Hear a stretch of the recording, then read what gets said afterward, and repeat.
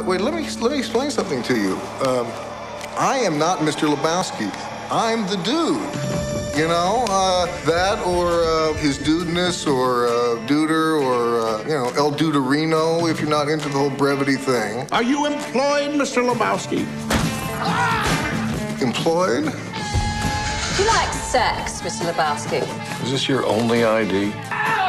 You got the wrong guy. I'm the dude. Your name's Lebowski, Lebowski. Jeff Lebowski, the other Lebowski, the millionaire. I received this ransom note this morning. This is a bummer, man. They want you to take the money and act as courier. What do you mean, man? What the hell is this? My dirty undies, dude. The whites. Let's take that hill. Why should we settle for 20 grand when we can keep the entire million? I know you're mixed up in all this. Playing one side against the other in bed with everybody. Blow on them. Huh? Fabulous stuff. What? Who's sitting on a million dollars? We want some money. Ah, sitting in the trunk of our car. Where is my damn money? Say, dude, where is your car?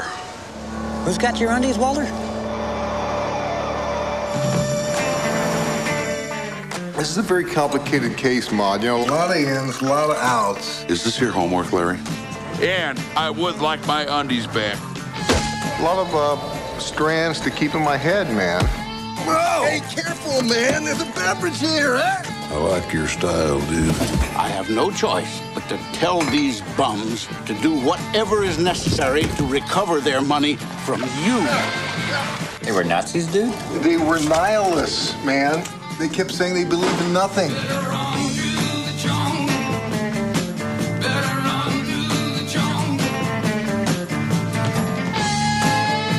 You figured, oh, here's a loser, you know, uh, a deadbeat. Well, aren't you? Well, yeah. You cannot drag this negative energy into the tournament. Jeffrey, Bond? love me. Uh, that's my robe.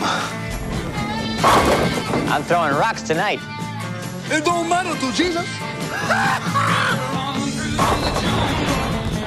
this could be a, a, a lot more uh, uh, uh, complex. I mean, it's not just, it might not be just such a simple, uh, you know?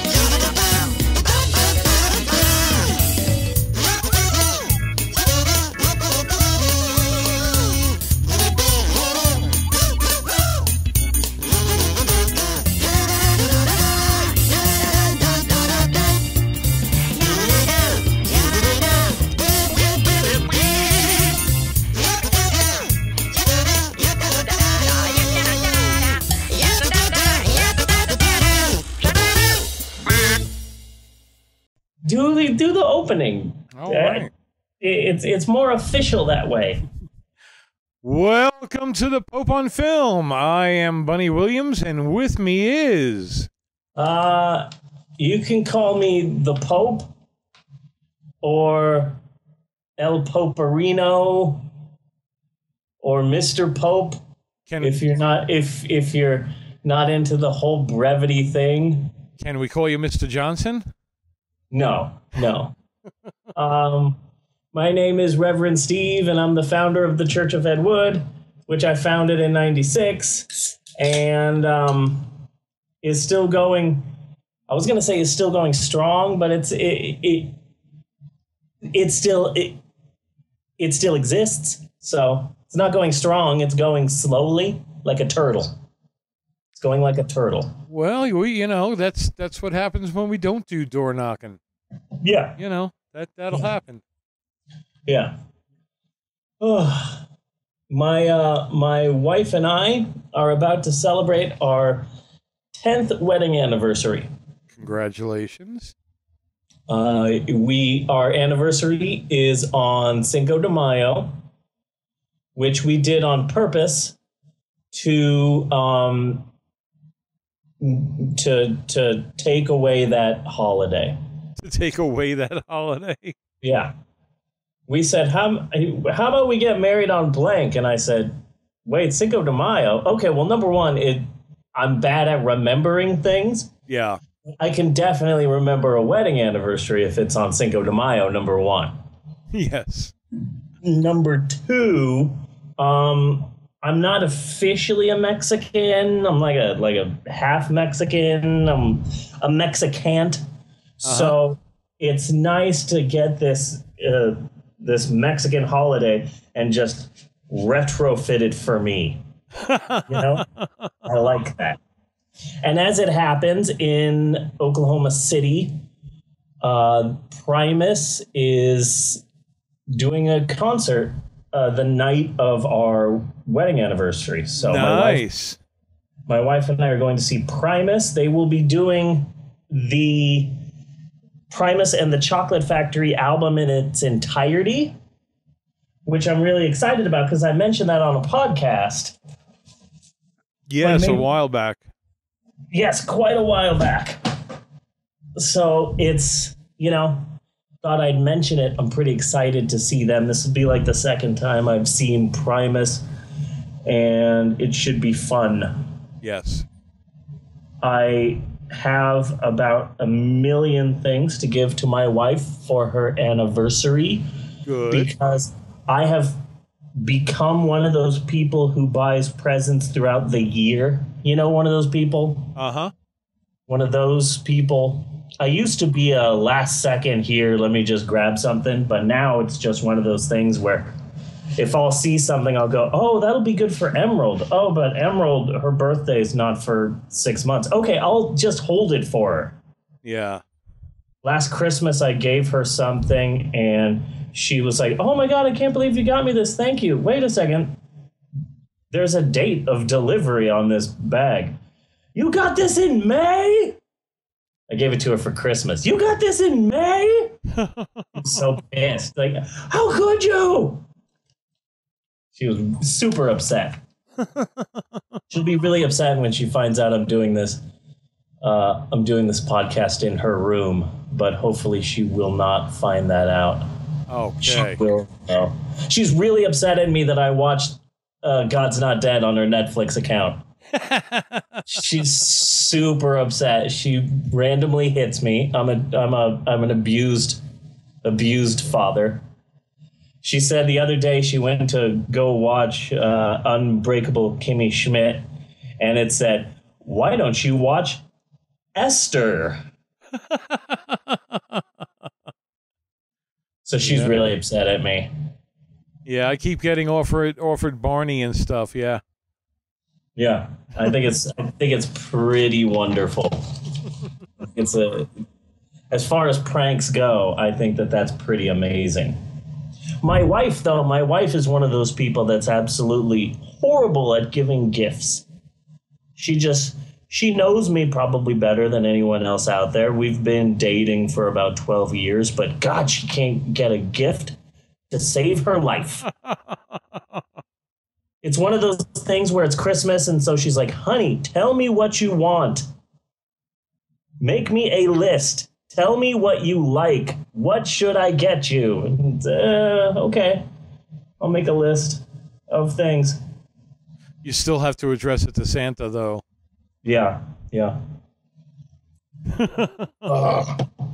So uh, I have some uh, DVDs of Bob's Dirty Shorts. It's a two DVD set, has six Yay. episodes, runs a bit better than three hours. Awesome. And I want to run this by you, but I heard on the radio an awesome contest idea. But this Okay. would really be a lot more up your alley than mine. uh, all right. Okay? Okay.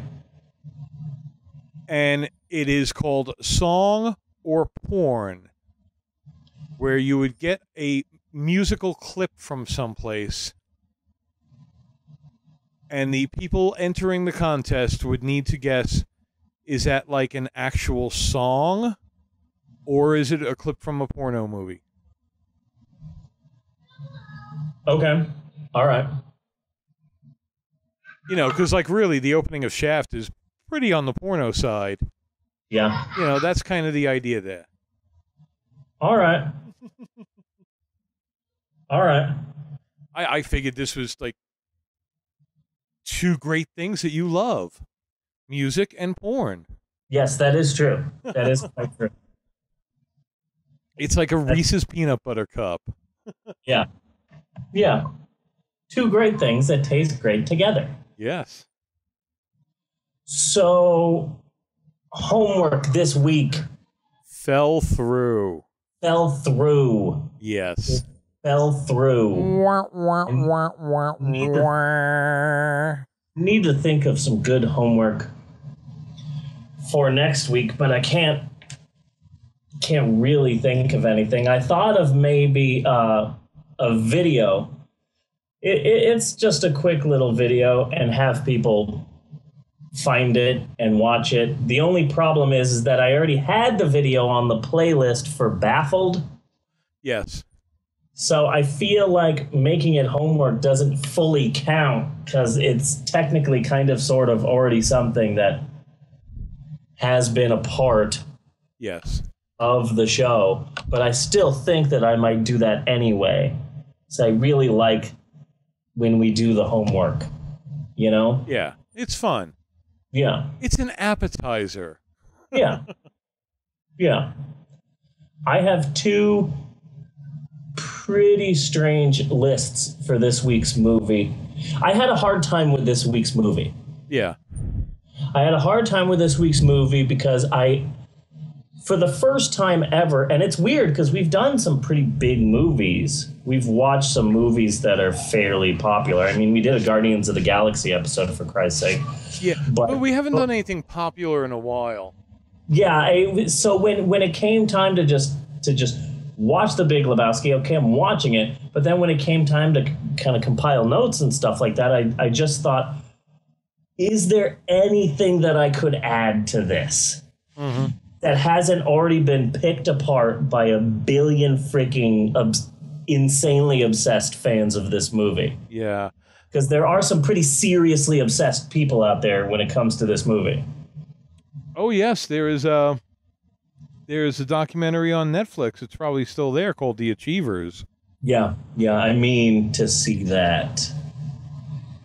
I, I, I guess I have a problem with the Big Lebowski. How so?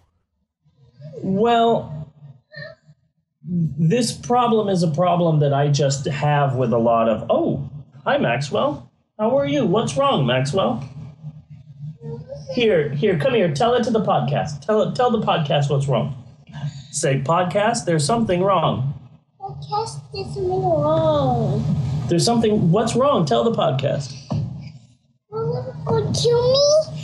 Bella is not going to kill you, okay? And if Bella does kill you, I will I will revenge your name. Okay? I will go on a Kill Bill like quest. I will go on a quest to seek vengeance. Yeah. Do you want Daddy to seek vengeance? Yeah. Then then tell the podcast. Say. Podcast, my dad will seek vengeance. Podcast will be villains. That's they, I think you said that we're just gonna be funyuns, but oh, he's out. We're gonna be funyuns. We're gonna be funyuns. You were gonna be Funyuns. Yes. Yeah, we're gonna be funyuns. The problem that I have with the Big Lebowski is is it, it's less a problem with the movie, but just a problem with myself personally. There, there's just this thing that happens to me where if something becomes really, really popular in culture or society, then most of the times I will consciously avoid said thing. Yes. So most of the things that I've been obsessed with for a while are they're not things that are sort of a mainstream acceptance. It's it's just it's a different it's a it, it's just something with me. So I I think this movie has just become too popular for me, which is weird because I, I I saw the movie the day it came out, opening day at like 6 p.m. or 7 p.m. at night. That the Friday it came out, I was there, and maybe I I saw it at a, a movie theater that is no longer around uh, by Metro Center Mall in Phoenix, Arizona. And I swear about maybe 20 or 30 other people were in the theater Yeah. opening night on a Friday. But Oh, there, a- there, was, har- Yeah. there was hardly anybody there. Not a good crowd for an opening night. No, no, not at all. But I, I just found the movie to be so strange and bizarre, and I, I just like I, I saw that the movie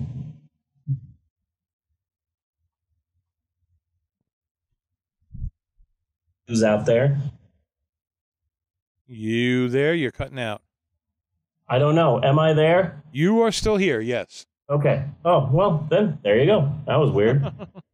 um, it, I saw that the movie wasn't doing good when it first came out, and I just I fell in love with it, and I held it, and I said, "Oh, I love you, movie. It's okay that nobody else loves you Yes. because I love you. I saw you the day it came out. You came out, and I've been obsessed with you for a really long time. But then suddenly, this movie just became so cool and so commonplace. yeah. And it's weird that such a strange movie like this could become something so commonplace. I'm worried that that's going to happen with the movie The Room as as soon as uh, what's his name makes the movie about about the making of the film. uh, oh, what's his name? 127 hours. James Franco. Yes. He's doing he's doing a movie version of the book The Disaster Artist about the making of the room and he's going to be playing the guy uh what's his name? Oh, I hi Mark. Forget his name But because I still have not seen the room. Oh, you really should. It's quite an amazing movie. It's one of those movies, a lot like And God Spoke, where he set out to make the greatest movie of all time and it just comically failed. So now he's trying to say, Oh, I meant to make a comedy. Yes. That was what I always meant to do was create the great greatest comedy of America. so I'm just worried that you know the room is suddenly going to be you know when that movie comes out my mom's going to know what the room is. yes. That's always kind of like the the judge for me. When my mom knows it, then it might not that's that's it's the I it's weird because the Big Lebowski is such a strange movie and such a bizarre movie. And then in the world of the Coen brothers, it's sandwiched between two big successes of them. Because after the Big Lebowski, they did Oh Brother Where Art Thou and, and George Clooney and that damn song that you heard all the time, and it was a, it was a big big hit and people loved that. Yeah. And before they did the Big Lebowski, they did frickin' Fargo. Mm-hmm. And anything that followed Fargo wasn't going to be a big hit for them because Fargo was huge for the Coen brothers. Yeah. I kind of came into it the other way, where I stayed away from the Big Lebowski for quite some time. Uh, and I was working with this guy. Uh, he was probably like 10 or so years younger than me. No, younger than that. He was a young guy. Yeah. So it had come up somewhere in conversation. He had never seen Evil Dead 2, Ah, which is, it's just one of my favorites. yeah. Um, so I give him a videotape. Remember those? Oh, God. And he comes back in the next day and he's like, I don't get it. And I was like, fuck you. What's not to get? This is comedy gold. He's like, Have you seen The Big Lebowski? And it was like, All right, you know what? I give in. Okay. I've got Yeah. to now see The Big Lebowski. And whe- whereas it is no Evil Dead 2, Yes, very true. it's a damn fine movie. It's it's I, I don't well man, just in general, if somebody is like a good filmmaker, Yeah. I, I tend not to particularly care for their work much. And I'm not like a really big Coen Brothers fan or anything like that. Pretty much I like Fargo and I like The Big Lebowski. That's about it. You know? I, I really liked Oh Brother Where Art Thou for a while. Yeah. watched it in forever, but I really loved that movie. I don't know. I it. I don't know. I, I it didn't click with me. I don't know why. But I like I I real I like the movie itself. It's just when suddenly I'm seeing frat boys wearing a Little Lebowski Urban Urban Achievers T-shirt. That's when I start losing interest in the Big Lebowski. You know what I'm oh saying? yeah, yeah, and Yeah. and like how can they really even understand it? Yeah. So I don't have I don't have the most things in the world about this week's movie, yeah. but um, I do have some good stuff. I've got two lists. I've got uh, some some good good stuff. I've the soundtrack though. I could talk about that nonstop because I love the soundtrack for The Big Lebowski. It had a really great soundtrack. Yes. God, I love that soundtrack. That was a damn good soundtrack. Freaking love that soundtrack. Okay, so this week's movie is Baffled. Baffled. It's a made for TV movie starring Spock. Spock. This week's movie, The Big Lebowski, is a. And I was trying to define the movie, Yeah. but this really is a movie that is beyond definition. Well, uh, it's it it's got a lot of similarities to a, a film noir type of movie, Yeah. except that you have pulled out Robert Mitchum and you've dropped in the dude instead. Yeah. It's very it's a very good mystery. It's a very good mystery movie. Yeah. Uh, it's also a comedy, but it's not entirely a comedy because it is surprisingly at most times more of a mystery than it is a, a comedy. Yeah. Then there's one specific character that was airdropped into the entire thing who's certain that the movie is a western. yes. And he's like, I'm going to make this a Western. I'm going to make this a Western now. But it's not a Western. but it is in the mind of that one person. And also their use of music and especially dream sequences and stuff of that sort. At times, this movie feels like a musical. Yes. In fact, it does very much. So it's a comedy, Western, stoner, mystery musical. It's it's it's it's a mutt, is what this movie is. It's a mutt. It is a charmingly bizarre cinematic mutt of a film. I'm not exactly sure how and why the movie has developed the fan base that it has, but we can get to that at at another time. This movie is a is an amalgam is what it is. Kind of like in Marvel Comics, there was one month in the history of Marvel Comics where Marvel and DC got together and they had they they shut down their two companies and they created a company called Amalgam Comics. I no, I'm not familiar with that. Yeah, and for one month they released characters that were amalgams of both of their companies. So they had um, Doctor Strange Fate. Doctor Strange Fate. Okay. Yeah. And they had um, uh, Bruce Wayne, Agent of S.H.I.E.L.D., and stuff like that. Uh, the Super Soldier was like a, a Captain America Superman combination. Right. It, it, it was really bizarre. That's kind of like this movie. This movie is an amalgam. They've got they got about four different types of movies, and they smushed them together, and then whatever was left over, they did.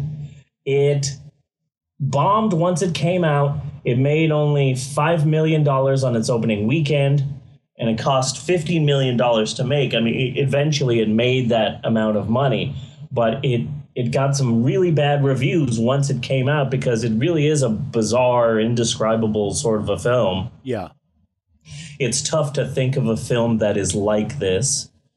It's tough to think of a film that was made after this that it would be similar to or that you could sort of compare it to. Well, it definitely looks like a Coen movie. You know? Yes. And it's it's almost like, well, okay, let's take Raising Arizona and mix that with Fargo. And you pretty much come out with the dude. Yeah. Raising Arizona. God. Nicolas Cage. I have a hard time getting through that movie, man. It's like, I okay, love- I got it. They're Southern. It's not funny anymore. you I know? loved that. I loved that movie for a while. I had a Coen Brothers phase for a while. yeah.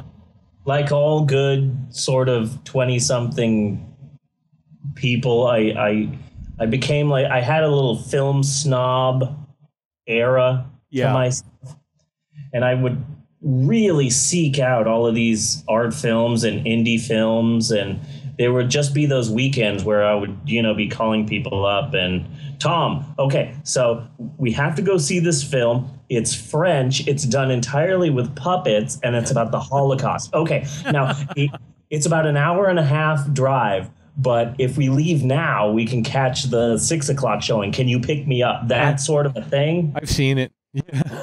yeah. Yeah. I, I was one of those people where I would really, really seek out so many different types of movies. Now it's difficult to get me into a theater. I still watch a lot of movies, but it I, I'm married and I have three kids, so it's a bit of a difficult I have to plan now Yes. to go see a movie. I plan these things out.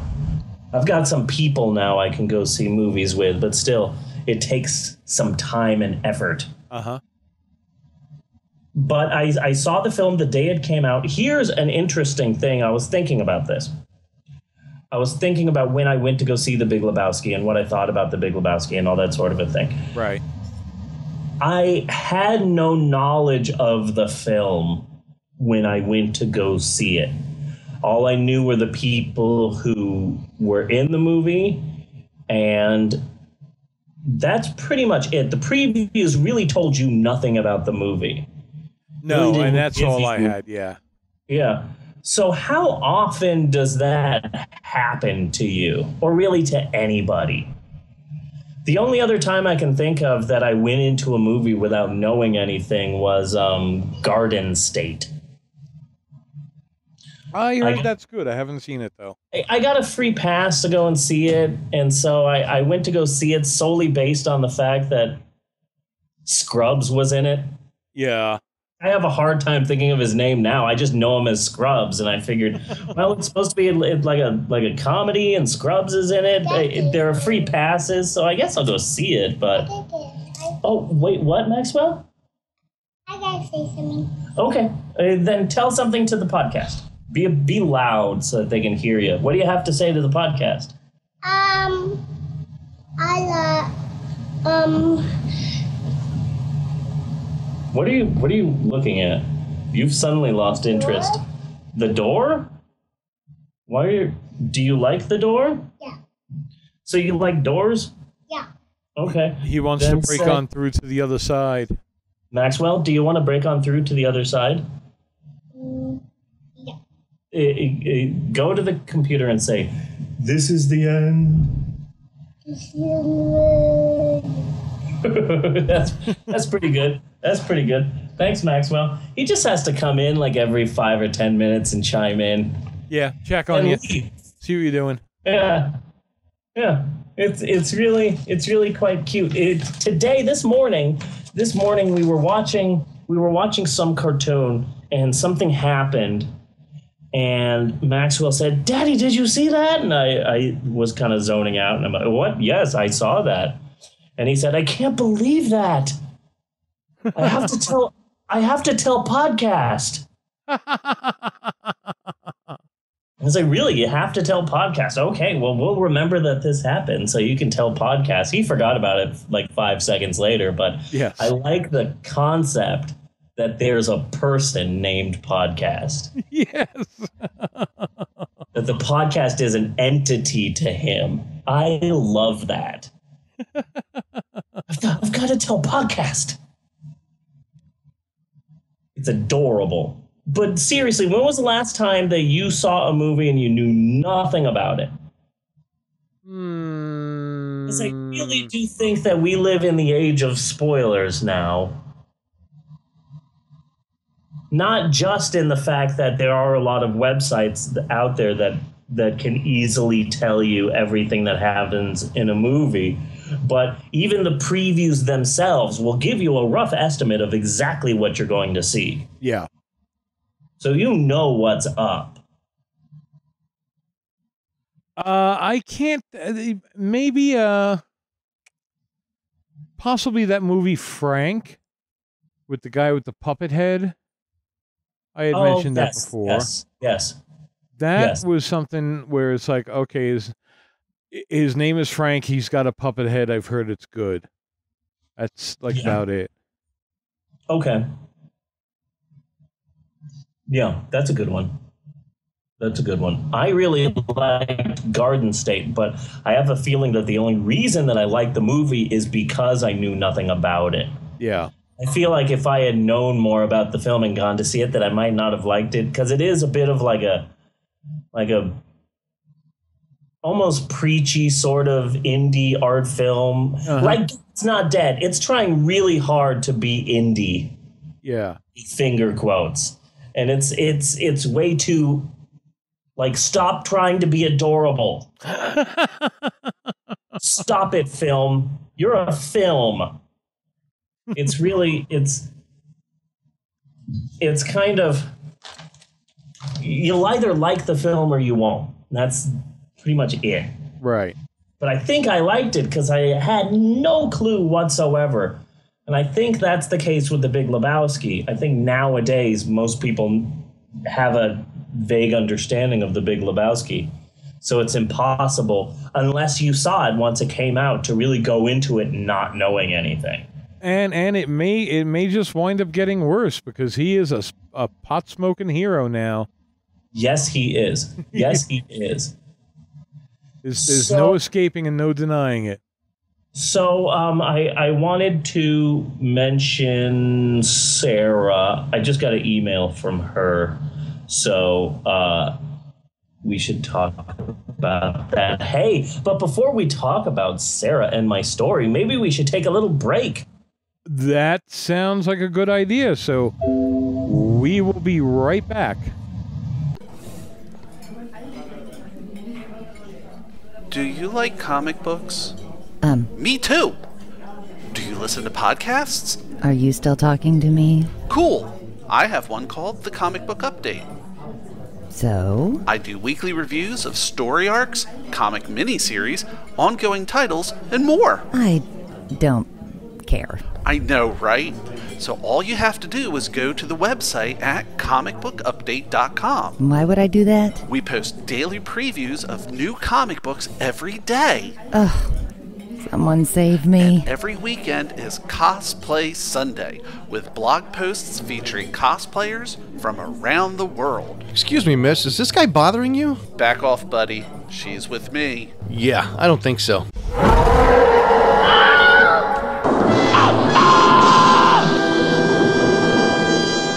Um, sorry.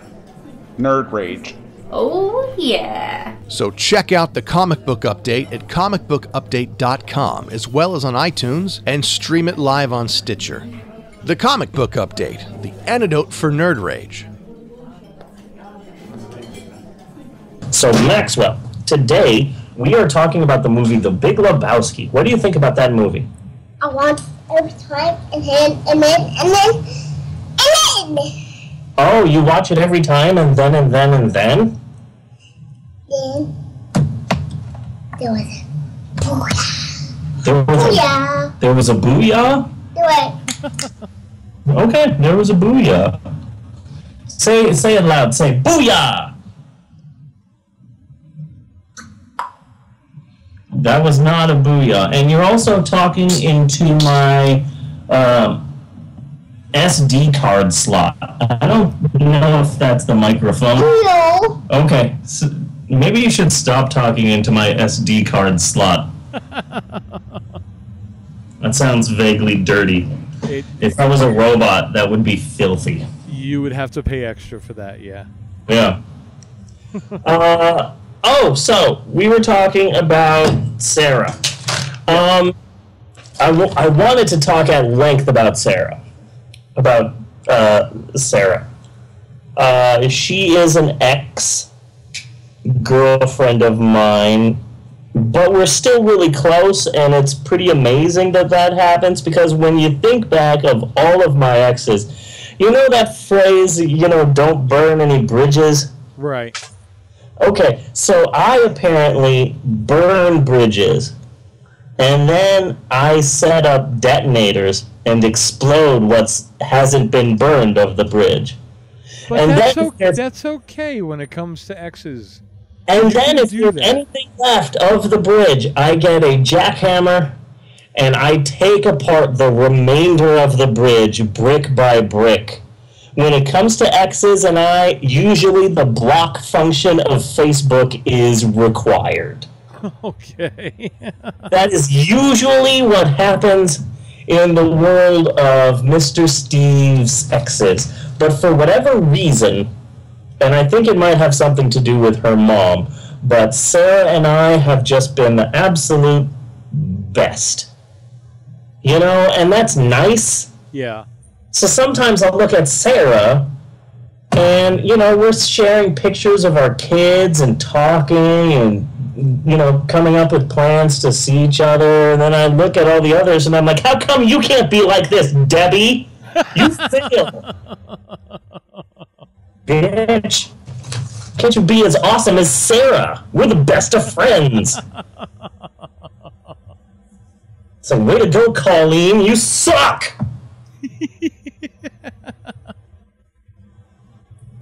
but when I met Sarah, um, her mom had always had health problems, and her dad always seemed to be inches away from death. Yeah.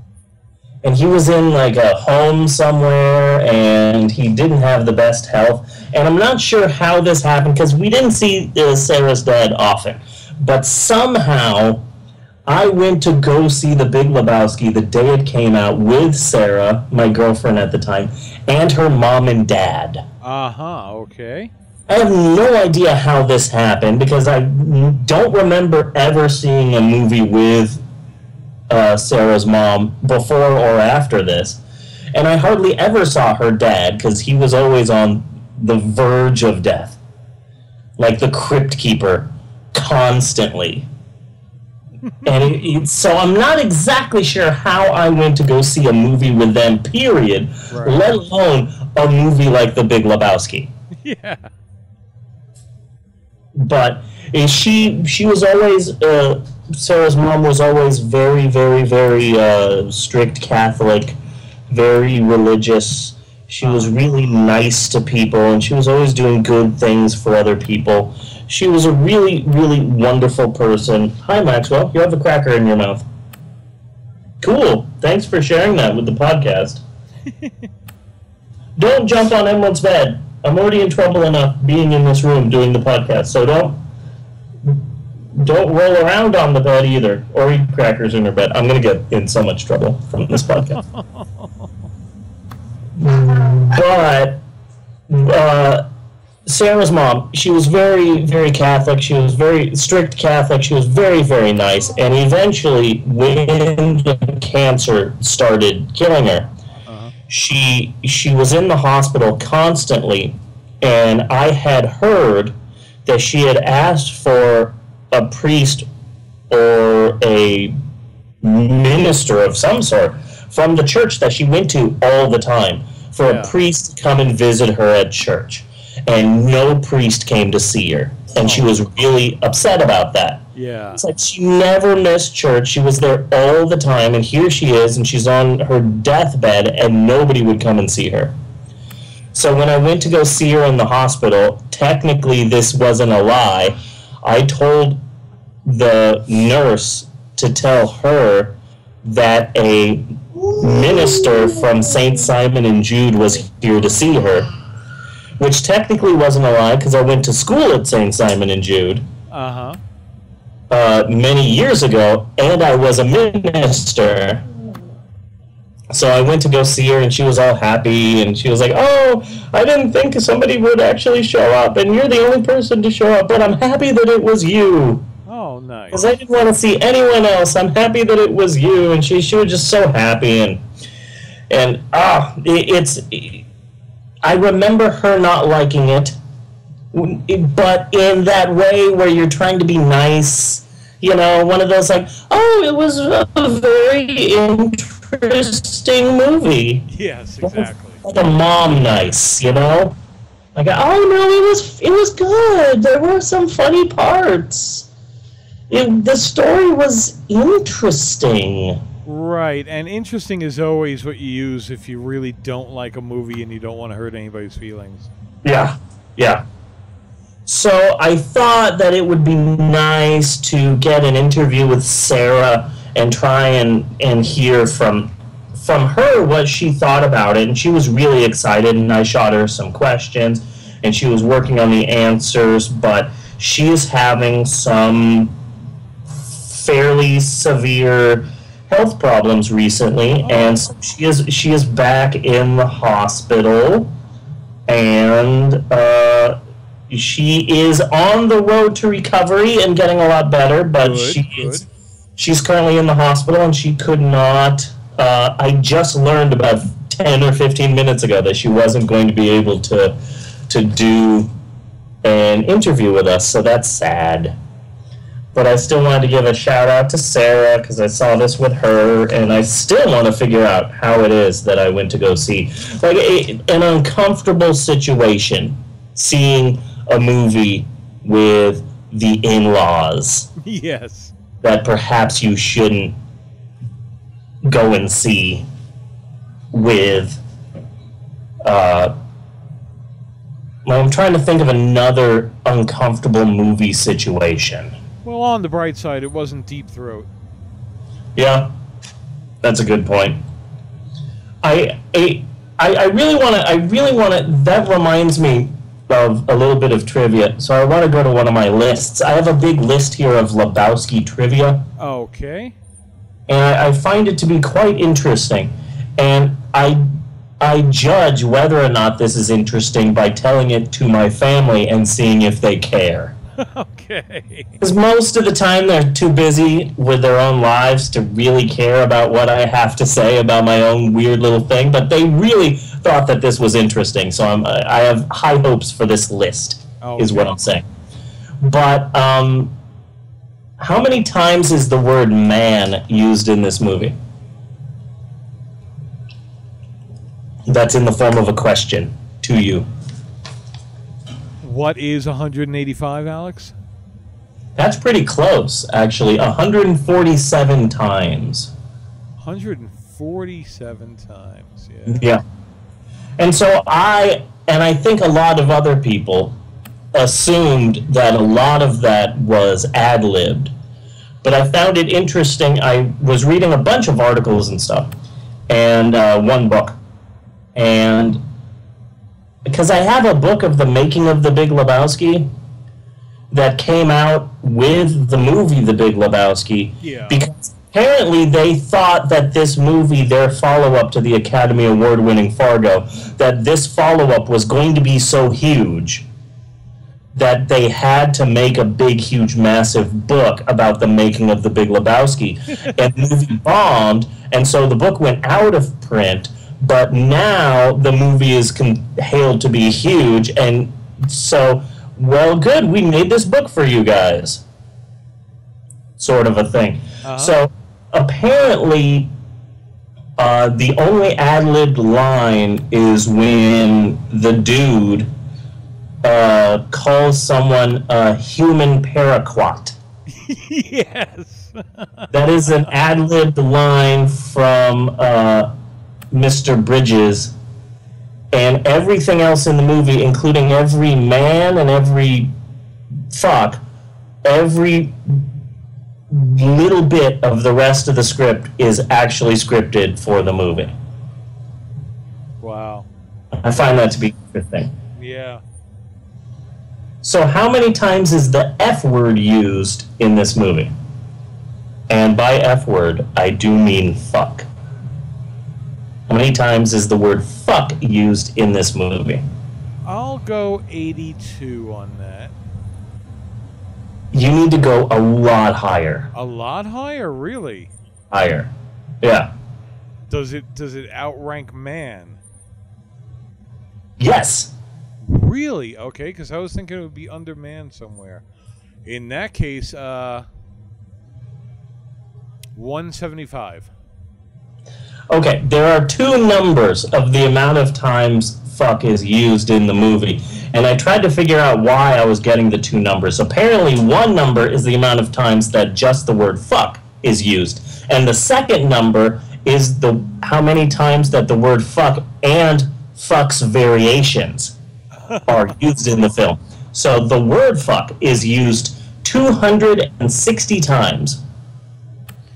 If you count fuck and its various variations, uh-huh. it is used 292 times, and that is a number that apparently tops the number of times the word fuck is used in the film Scarface.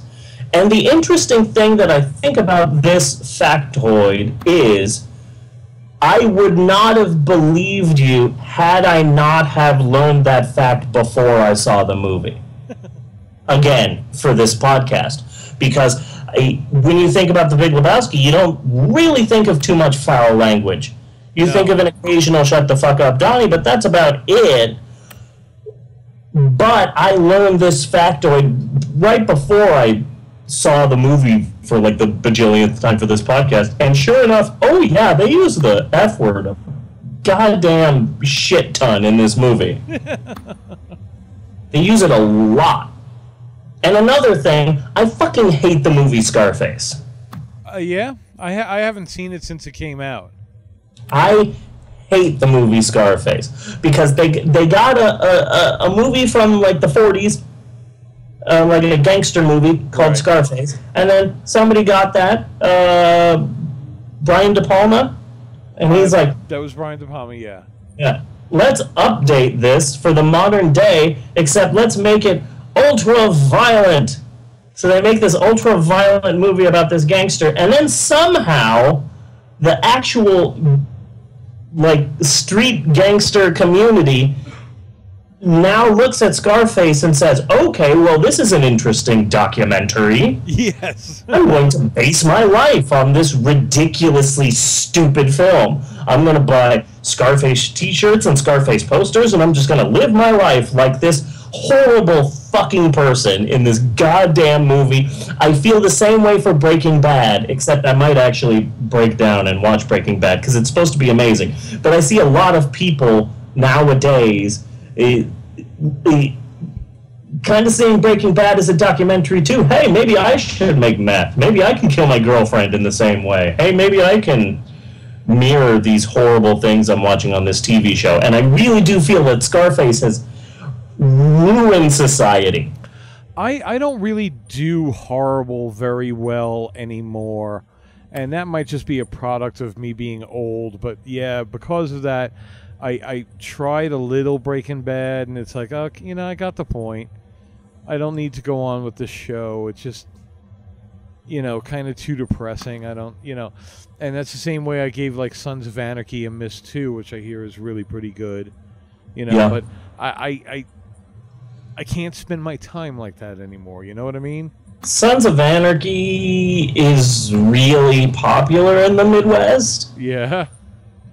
People fucking love this goddamn show. Like when I was in California, I think Sons of Anarchy was starting, but I didn't hear a single person talk about it. I, I heard one or two people talk about it only because uh, Hellboy is in it. Right. Or was in it. Is he still in it? I don't even know. I don't. I Maybe I know he killed. was. Well, the show is over now, so. Oh, they don't do the show anymore? No, I think this was the last season. Oh well, hold on. I think it's is it in this magazine? I've got this magazine in front of me. Uh, Sons of no, it's not. Okay, I've got this special issue of Entertainment Weekly. It's fourteen dollars, and it's the binge guide. Yeah. Thirty-two fix shows to binge watch. Yes, Maxwell. You know which one it is. Do I know where Twitter is? It's on the internet. No, what are you talking about? It's Sweat. weather. Sweater? Weather. Treasure. Are you saying you're saying treasure? Yeah. Um, it's the treasure. It's in the hills of the Sierra Madre. okay, good, good. Glad I figured that out. Uh, what was I saying? Oh yeah, I fucking hate Scarface. Yes. I think some of that has to do with one of my cousins. I say cousins with finger quotes because he was adopted, but eh, he he he may or may not have killed a cop, Oh, okay. And he may or may not have spent a lot of time in prison. I'm not exactly sure because I saw him all the time, and then suddenly he wasn't around anymore, and none of our family told us why. Yeah. So my brother did some investigating, snooping, and found out that he was in jail for this and that, and so he loved Scarface. Okay. loved Well, this you know, movie. there you go. Absolutely loved this horrible, stupid movie. And the one time that I saw it, the one time that I saw Scarface, was the one time that he sat down his one-year-old son and had Scarface on like it was frickin' Oogie Loves or Sesame Street. and he's all like, "Oh yeah, he loves Oogie Love. He loves Scarface. This is his favorite movie. Don't you like Scarface?" And it's like, okay, you are blonde-haired and blue-eyed. You are adopted. You do not get to talk like a Mexican. You do not get to talk like a Mexican gang member. I know you're from Tucson, but that doesn't mean you get to talk like this.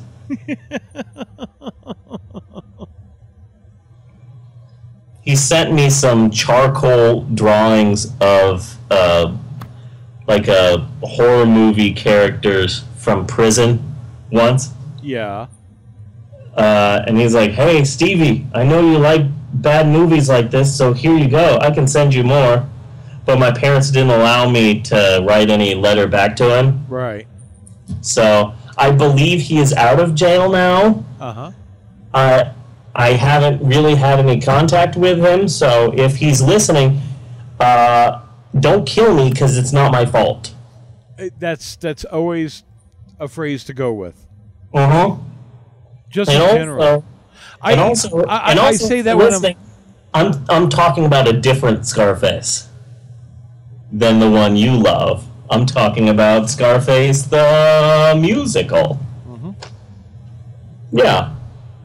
Which has got to exist out there somewhere. No, yeah, it absolutely does. Absolutely does have to exist somewhere. They're turning everything into musicals. Yeah, pretty much. I'm still I'm still hoping to do a one man musical version of Jurassic Park. Yes, Maxwell? What do you have to say to the podcast? Then I was trapped in the wall in a marshmallow. You were trapped in the wall in a marshmallow? Yeah. Then there was no way out. There was no way out? Did you eat your way out of the marshmallow? Then there was a way out. Oh, there was? Then there was a hole. There was a hole? A big hole. Oh, I've known some big hoes. Haven't we all? Yeah. Then I got a backpack, a flying backpack, A flying backpack?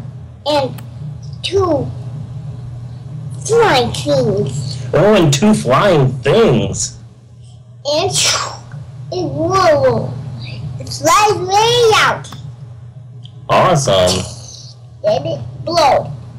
Then it exploded? Were you okay? Did you die? No. Oh, good. Then I come, and then I did the marshmallows.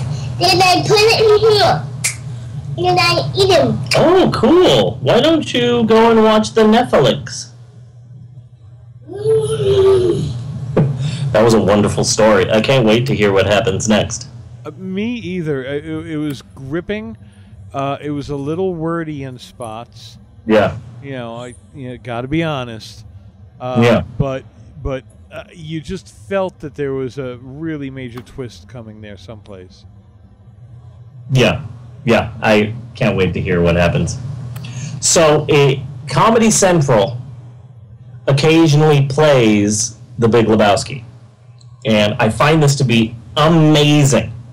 So, when Comedy Central plays it, they've got to edit it, and so they change the line that Walter says, Do you see what happens, Larry? Oh, this is what happens, Larry, when you fuck a stranger in the ass. There has got to be a rap version of that on YouTube. I meant to look it up, but I forgot. Oh, absolutely. Like the Unbreakable Kimmy Schmidt theme song. There's got to be like a songify version of that. Yeah, because, because it, just in that whole rant that he's doing, it, it just it just picks up a rhythm of its own. Yes, it It's like see what you get, see what you get, see what you get when you fuck another man in the ass. See what you get, see what you get. You know, just like it picked up its own rhythm. Yeah. But when they play the movie, when they play the movie on the pod, the Comedy Central, they edit that line too. This is what happens when you find a stranger in the Alps.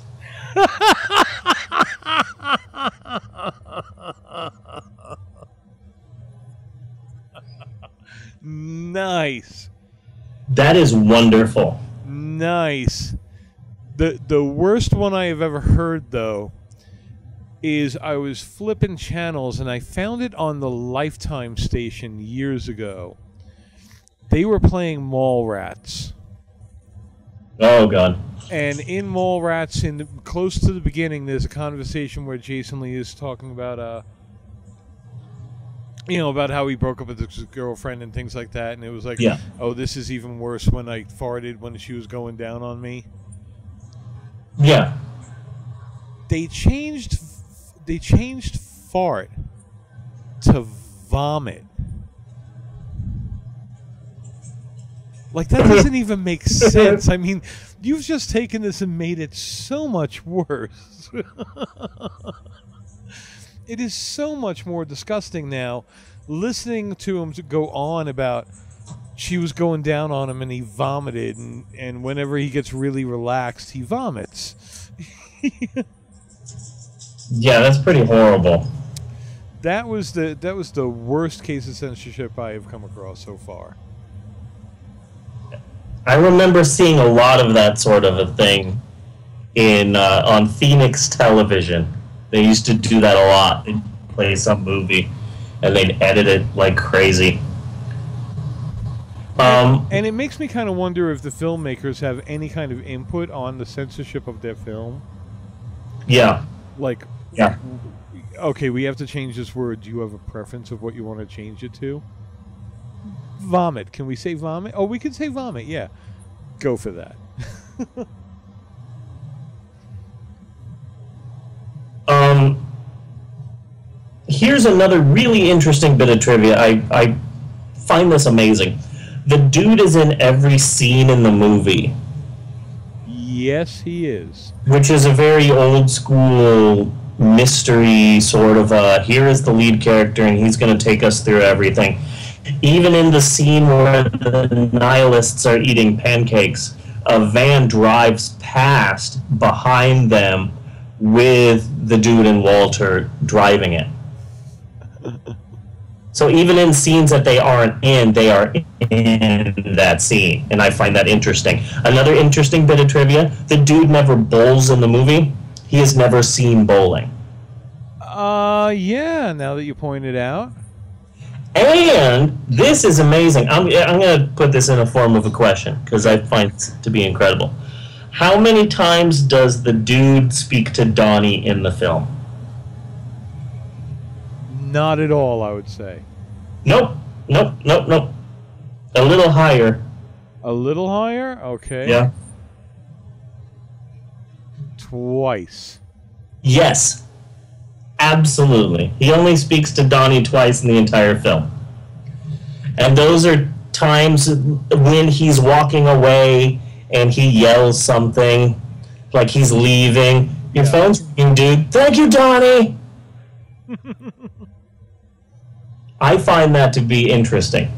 Also, Donnie another- was also not connected to the story at all.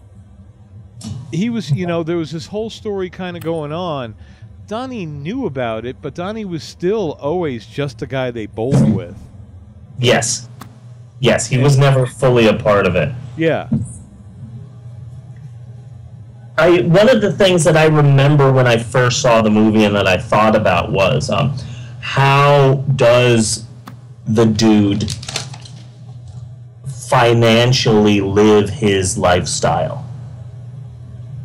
That was one of the things that I remember thinking is how is this man able to continue living like this without any sort of job or job skills? How does he how was he able to do this? Apparently, in the original script, uh, he was the heir to the inventor of the Rubik's Cube. Nice. So he got a, a small fortune from the creation of the Rubik's Cube, but they thought that it would be better for the story if they just left that a mystery. So they took all of the Rubik's Cube references out of the film. I find that to be intriguing because that was one of the things that I thought about this film. And a bit disappointing because I have always wanted a real, serious Rubik's Cube movie. Yes, this movie could have done for the Rubik's Cube what it did for bowling. Yes. And it made me feel like I wanted to go bowling, and I hate bowling. Everybody hates Yeah, bowling. I had a, I had a great big Rubik's Cube phase, not Rubik's Cube, bowling phase for a while there because of this movie where we all had to go bowling. A big, this did a lot for bowling. Did you, you I think. You This didn't join a league, though, did you? No, no, no, no. My dad was in a league when we were growing up, and we would go with him, and we would really pay attention. My my father, um, my father found a way to get my my older brother and I interested in. Bella, can you not lucha Maxwell in the room right now? No, don't shake him either. Don't shake the baby. Hey, Bella, Bella. Okay. One of the things, um, is so my dad he he came up with a wonderful way to get us invested in the bowling game because they had great arcade games at the bowling alley. Yeah. So every time he got a strike, we got a quarter. Nice, okay. So it- literally, you've never seen two kids more invested in an adult playing bowling. Ever.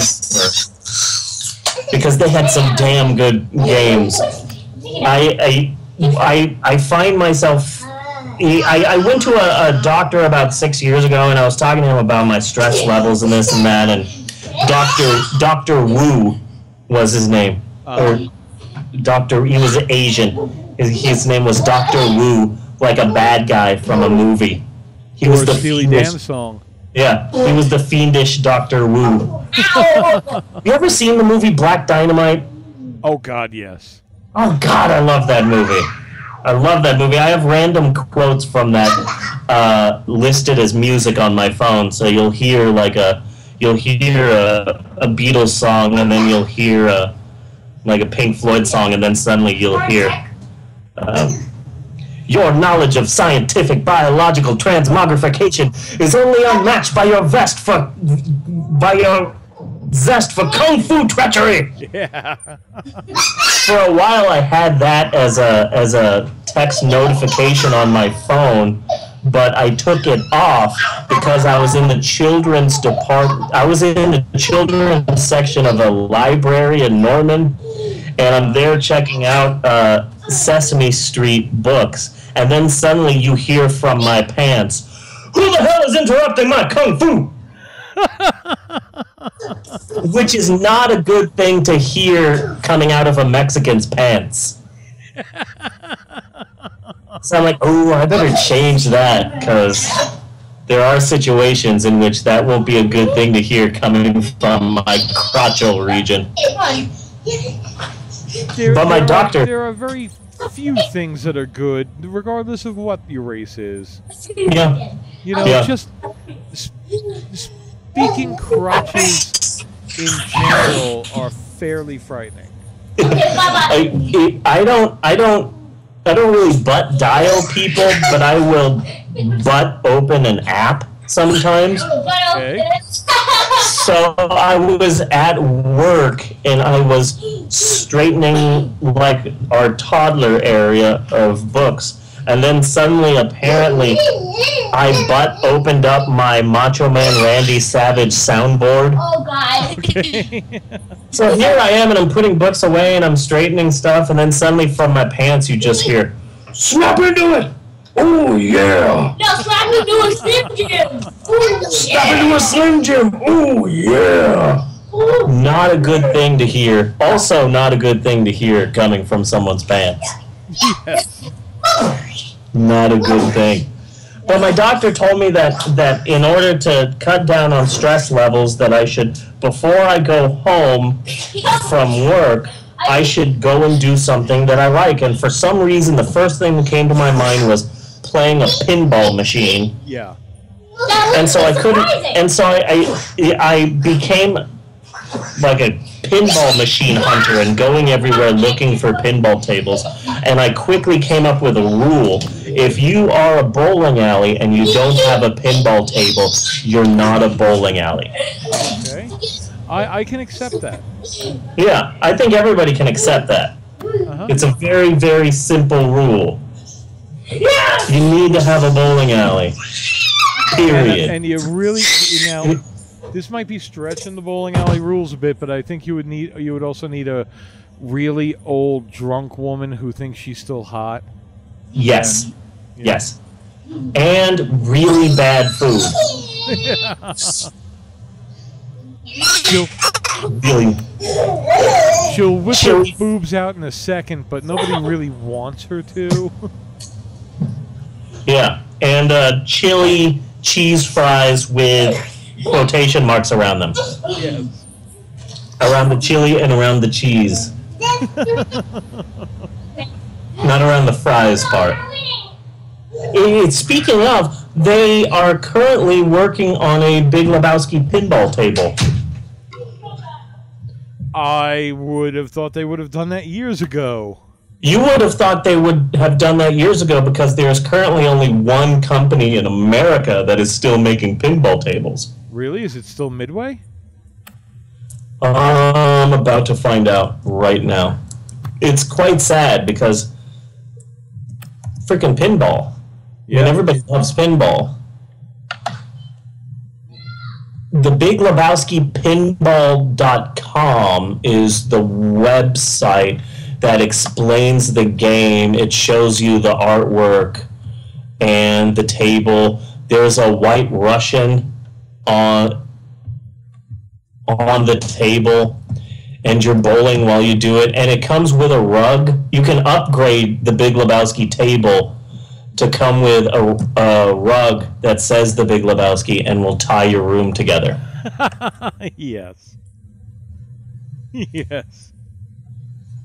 That was such a great running gag. Yeah. That's, that's the thing about this movie. It just had had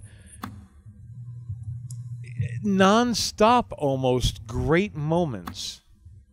You know? yes yes And so very stylized for the type of movie that it is. yeah. You know, I mean, you could you could rewrite it for Cheech and Chong. yeah. Yeah. You know, yeah. It's created by a new company called dutch pinball. They this will be their first pinball table that they've ever made. They're currently getting pre-orders for the Big Lebowski um, pinball machine. Do we trust the Dutch? I don't know. I don't know.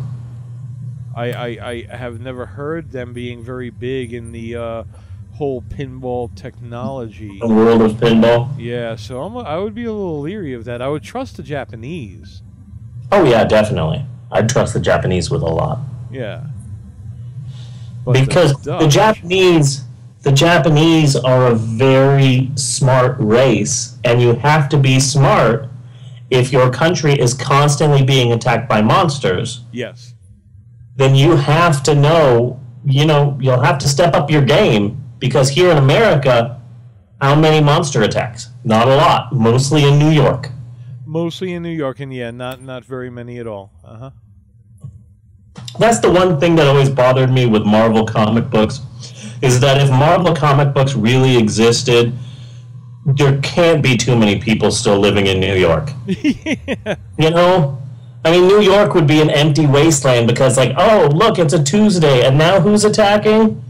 Oh, it's Thanos, and he's turning everyone into undead zombie slaves. Okay, moving. yeah. You know? It's time to head for the suburbs. right? Like, Jesus, just fucking move already. Seriously. Not this many people would still be living in New York after all of the shit that goes down. I- I- God- it's no place to raise a kid. No. Freaking New York. So um, I I feel the need, if we're talking about the Big Lebowski, to mention the fact that the Big Lebowski is loosely based on the works of Mr. Raymond Chandler. Well, there we go. Raymond Chandler is an American mystery author that society dictates I must think of as a genius. Yes. He uh, created The Private Eye, Philip Marlowe, and The Big Sleep, and The Long Goodbye, and also other things that society demands that I think of as wonderful. Picking up that you're not a fan, huh? It's not that I'm not a fan. It's just I'm also not not a fan. I've, I've just never read him. Yeah. I think it comes down to the fact that I don't think anybody's ever actually read him. See, that's the thing. I, I think that I mentioned earlier that I had my little film snob period. Right. I think that most people, when they enter that college period of their lives, uh, they ins- they don't go for being a film snob. They become like a literary snob. Right. So I never read um, Kerouac or Raymond Chandler or Kurt Vonnegut or Bukowski or whoever that guy is who wrote uh, even Cowgirls Get the Blues. Like I never read any of those people. Right. I read some art. I, I read some article. I think it was written by um, the by the guy who wrote Sex, Drugs, and Cocoa Puffs, uh, and Fargo, Rock City. Chuck Klosterman, I, and I believe he said that that most people, when they go into college, they they have this period where they have to read things in the hopes that once they're done reading it, they can put the book on a shelf and then invite a woman into where they live, and the woman can see those books on their shelf and think, look at those books. I will have sex with a man who owns these books. and I never had that phase. I never had an intellectualism phase. I'm going to be smart. I'm going to read this and this and this. I did that for movies, Right. but I never did that for novels. I never tried to be smarter than anyone else. I mean, obviously. Yeah. I mean, just look at me. I obviously never. I was not an overachiever when I was in school. So I wound up reading a lot of those books after I was out of school. You know, just like, okay, why was this in every class? That's what I would need to find out. Yeah. I remember I got an A plus on my report of the book 1984, my freshman year of college, Yeah.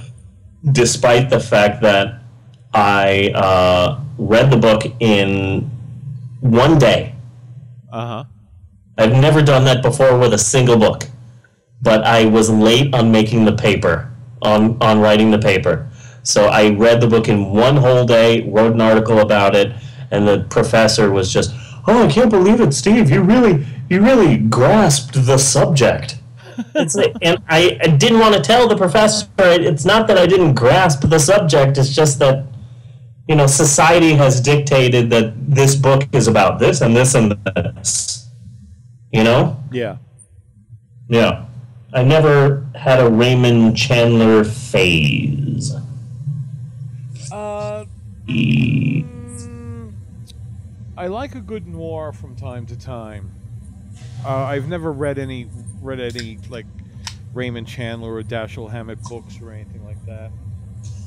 I have a I have a friend who named uh, his son Dashiell. Was it for that reason, or did he just think it was a cool name? No, no, it was for that reason.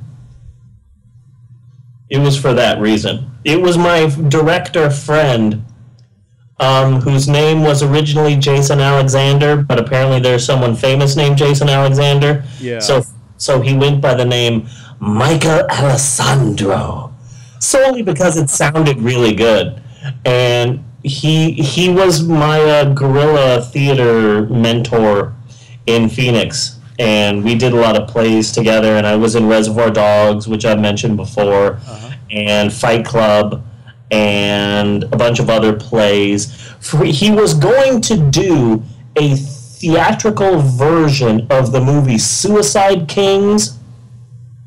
And I was going to play the part of Ira, which is now played by the little smarmy, nerdy guy with the glasses who's on The Big Bang Theory.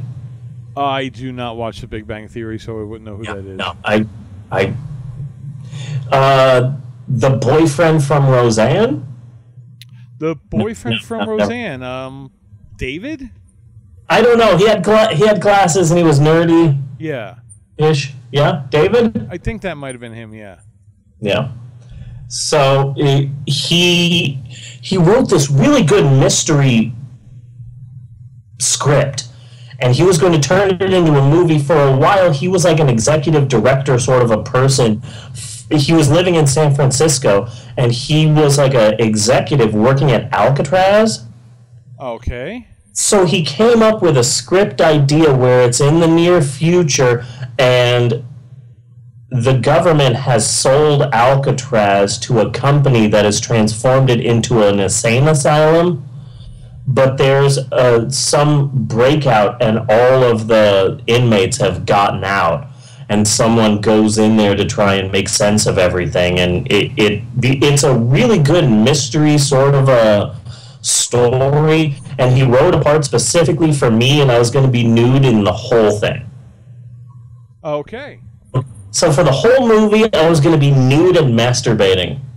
and I thought, I don't know if I can do this. I don't know if I can do this. And then I read the script, and I'm like, oh my god, this is a great fucking script. You have written an amazing mystery uh, story, and there's a bunch of twists, and I didn't know what was happening until the exact ending of the film, and this is great. Okay, I'll be nude and masturbating for you, I, you know, I, you Mr. I- Alessandro. I, I, I could rub one or two out, but not all day.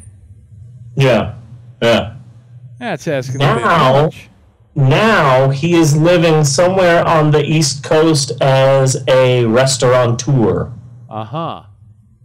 which is a shame because that script was really good and he was going to film it in Alcatraz. He's also the person that made me uh, learn Yiddish because he had that great idea, which I mentioned on another podcast, for a rat race tribute group crime movie. That was a good idea. That was a damn good idea. Anyway, what were so we like a tribute band? Yeah, it's a tribute band, but the Frank Sinatra leaves to go do something else. So the rest of the group are like very violently cutthroat trying to be the next Frank. Okay. It's a great idea. Just that general concept is fucking wonderful. Yeah.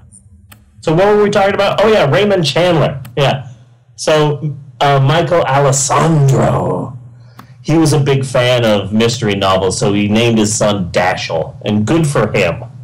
My son was named after the one Beatles song about a serial killer. Mm-hmm.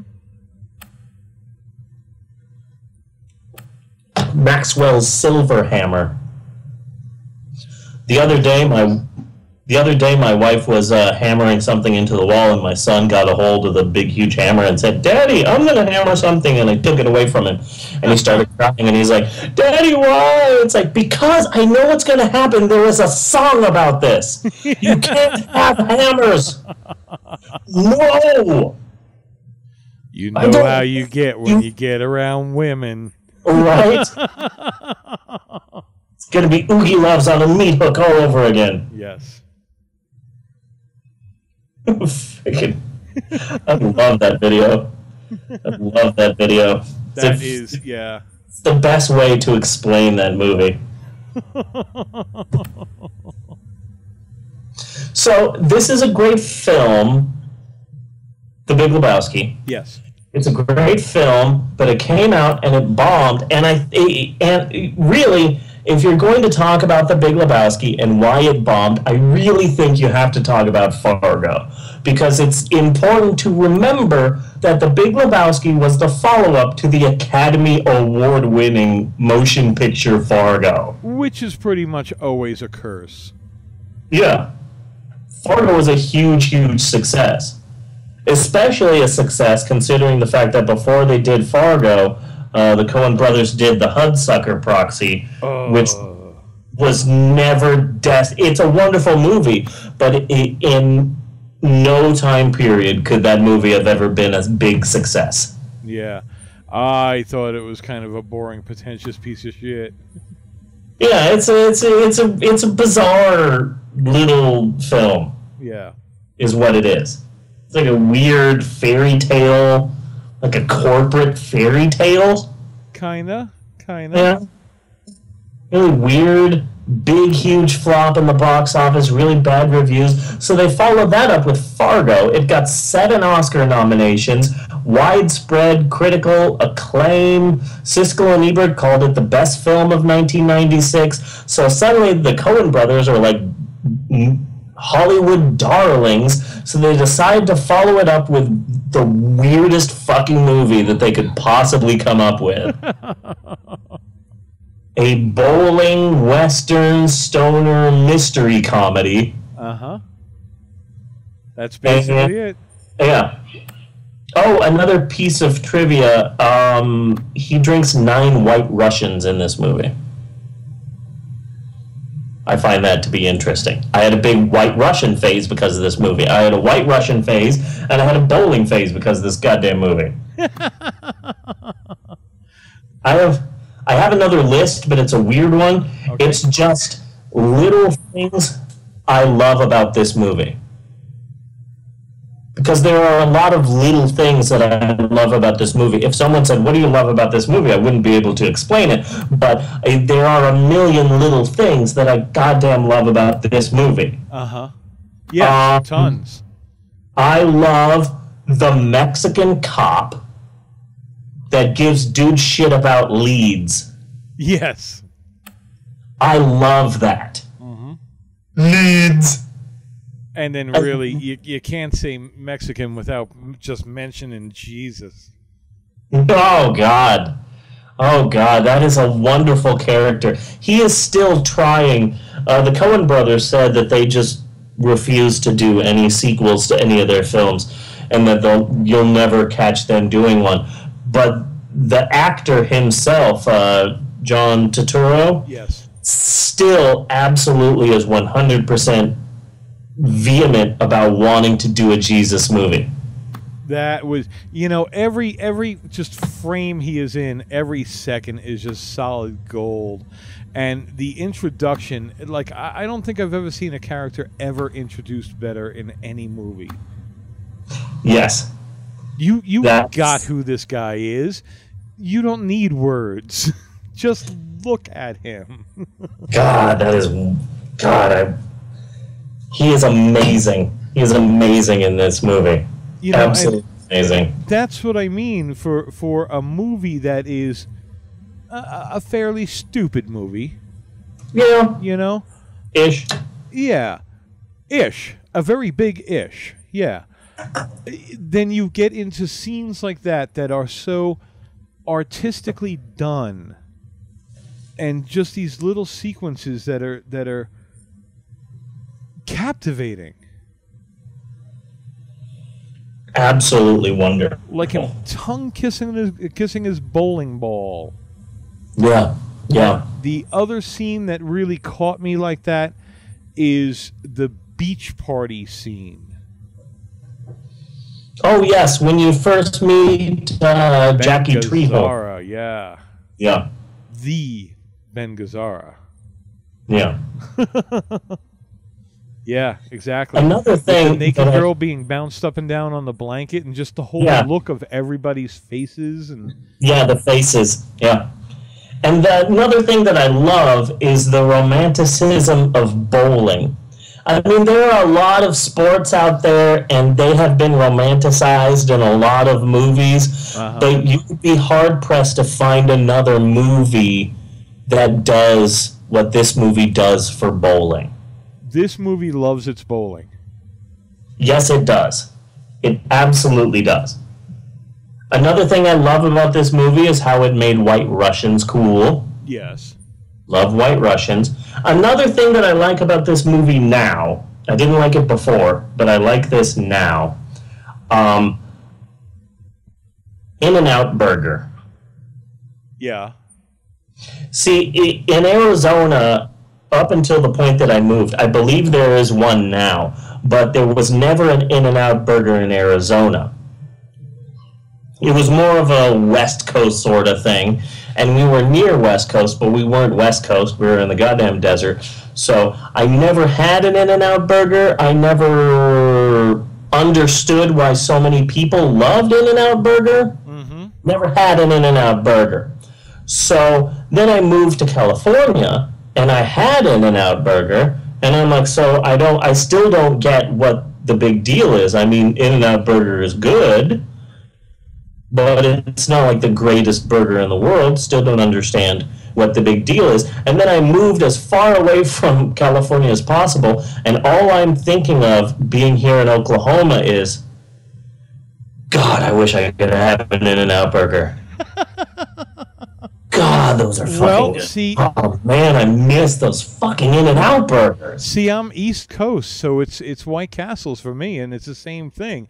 See, never that, had one. Never had one. Except that when it comes to White Castle, most of us will freely admit that they're shit.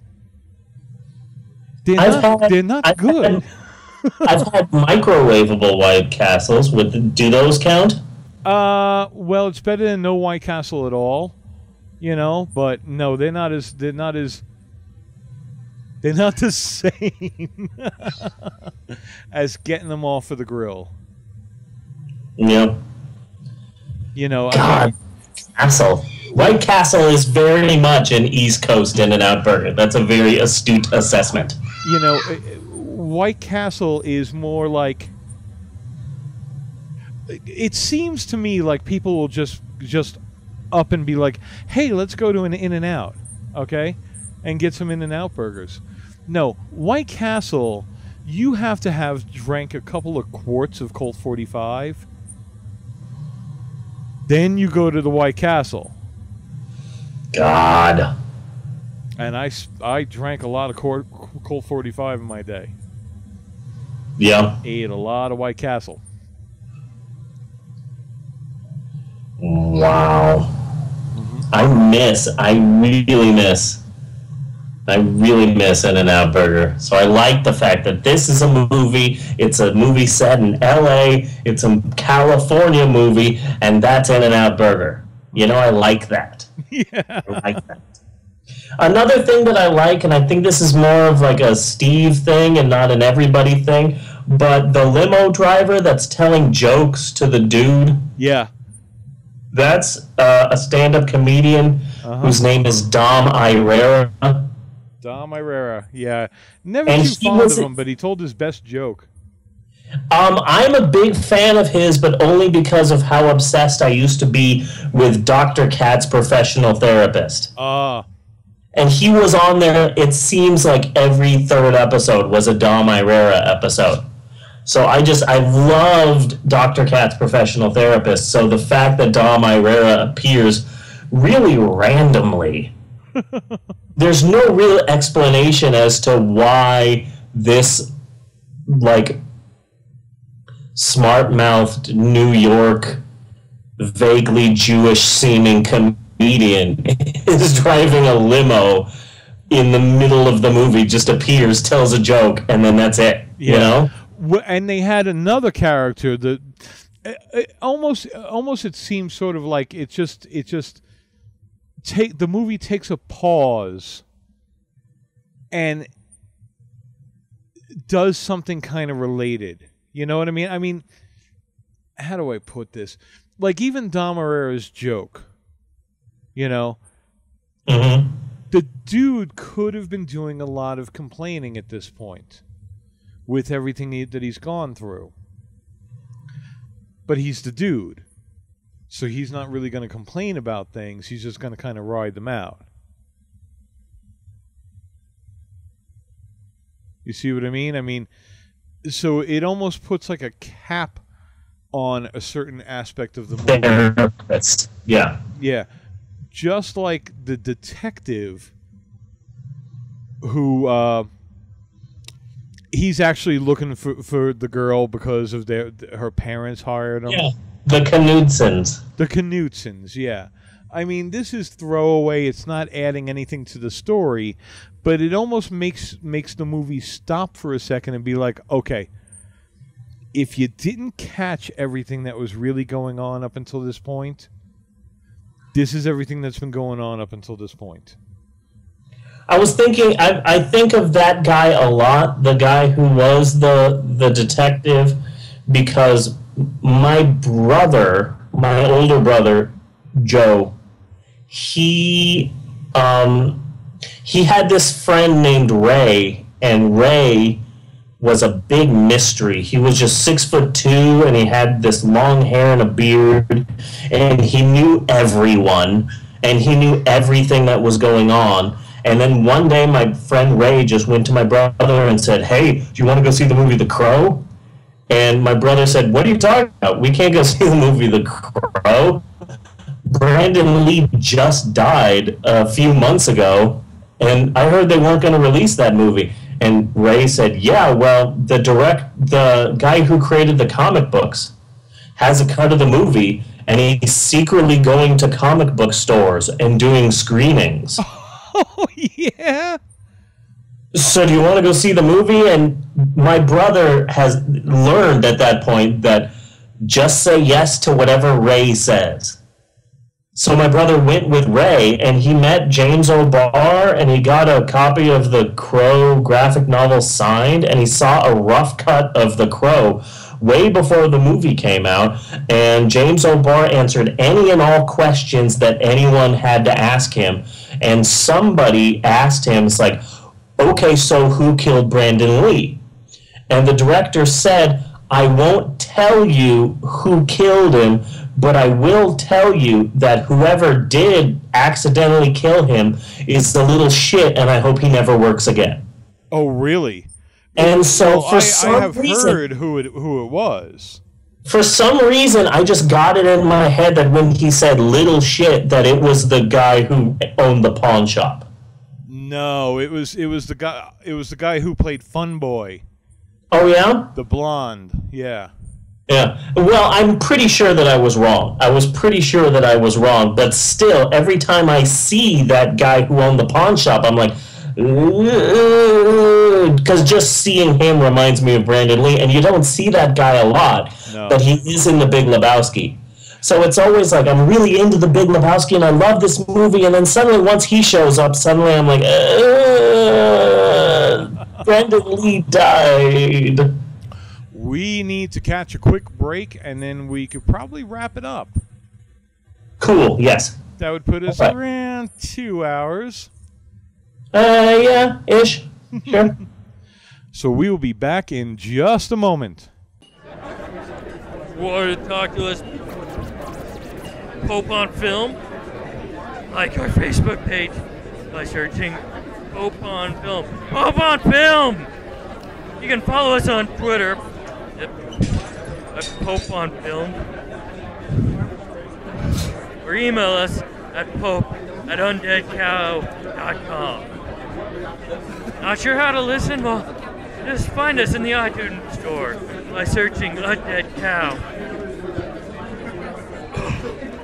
It's all one word. And you know, if, if, you're really hard hard up, you can always find us on Stitcher and of course YouTube at youtube.com slash users slash undead cow film. I'm gonna go throw up into this bowling shoe. I'm gonna remember my son's birthday. I am. And his name. And I am back.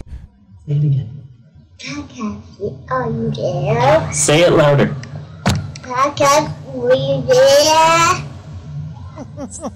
Yeah, podcast is there, okay? Yay! Yay! Yay! um, hello. Hello. Hello. Um, another thing that I love about about uh, we're back, right? We're back. Okay. Another thing that I love about the movie The Big Lebowski, it, I, I absolutely love this. I'm pretty sure that this movie has the world's only Black Eagles fan. Uh, yes. So I've because I because I I've never particularly liked the Eagles. My wife, huge fan of the Eagles, but I I've never particularly cared for them. Uh huh. And I always like I I try and pay attention to race, of course, because I'm a brown man in looks, but not in actual. Like I'm I'm not that great of a Mexican, so I I ask a lot of the black people that I have known throughout my life, hey, so are you an Eagles fan? So I've pretty much been asking that to every black person that I'm close friends with since 1998 when this movie came out. Have and I have yet to find a black person that really likes the Eagles. Yes. Yes. And and but they used them so well because that was a Spanish version of Hotel California. God, that is Jesus was wonderful. bowling. I gotta mention that too. The soundtrack, the fucking soundtrack. I love this fucking soundtrack. The Mexican version of Hotel California. I love that. Um, the soundtrack was created by T Bone Burnett, Okay. who is a uh, huh? I don't know T Bone. He doesn't hang out with me. Yeah, he's he's a musician and a songwriter and a music producer, and he's released a shit ton of albums. And also, um, he sounds like he'd be a black person, but he is actually a very old white man. Okay. But um, he, I learned that recently because I looked him up on Wikipedia, and I'm like, really? When I think of T Bone Burnett, I do not think of a skinny old white man. I do not think of that. That is interesting.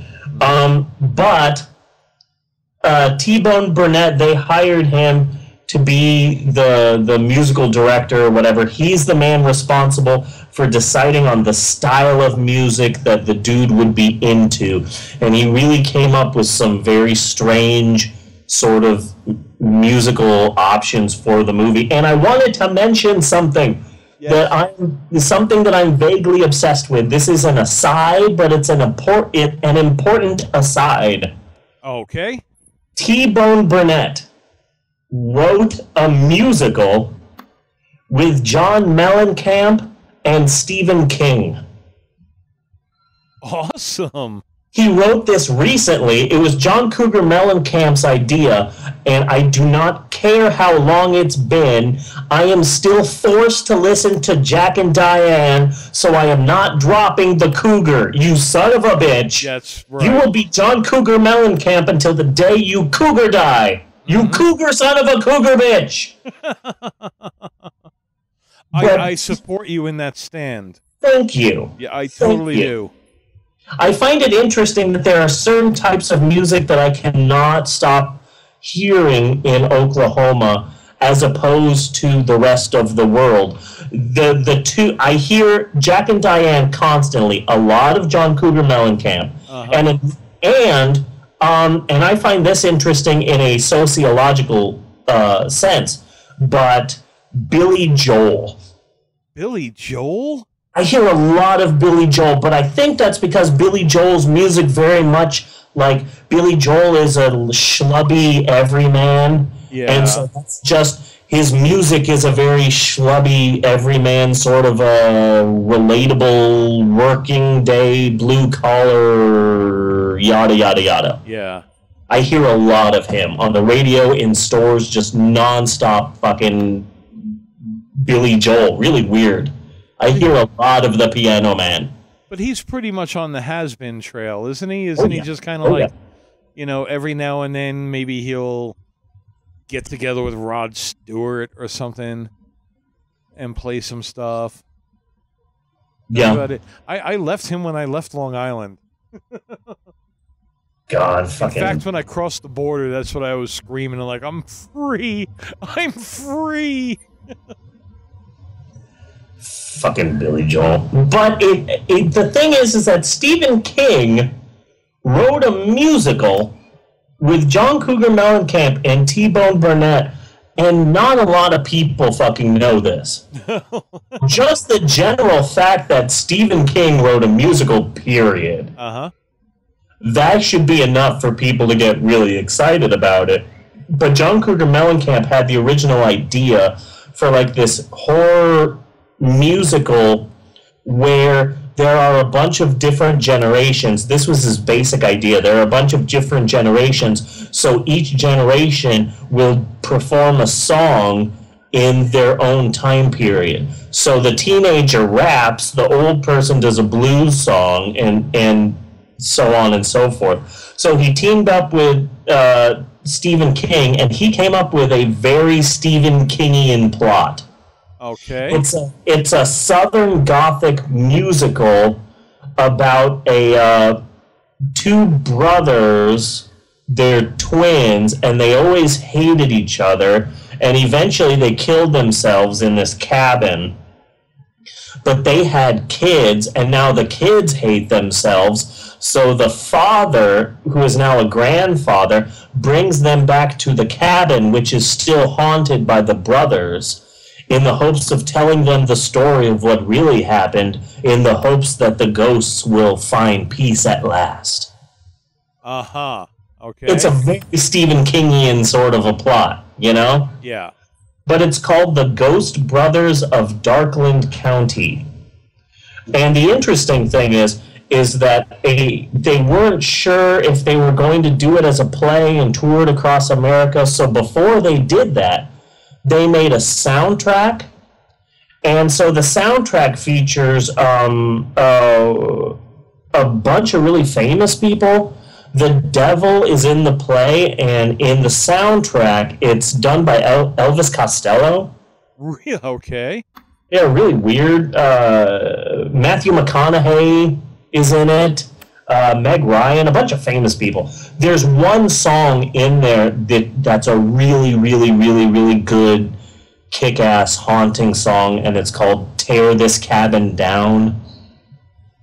And it, it, it's a really wonderful song. It's the song that starts that that plays when the grandfather finally sits them down and talks to them, starts the story. Uh huh.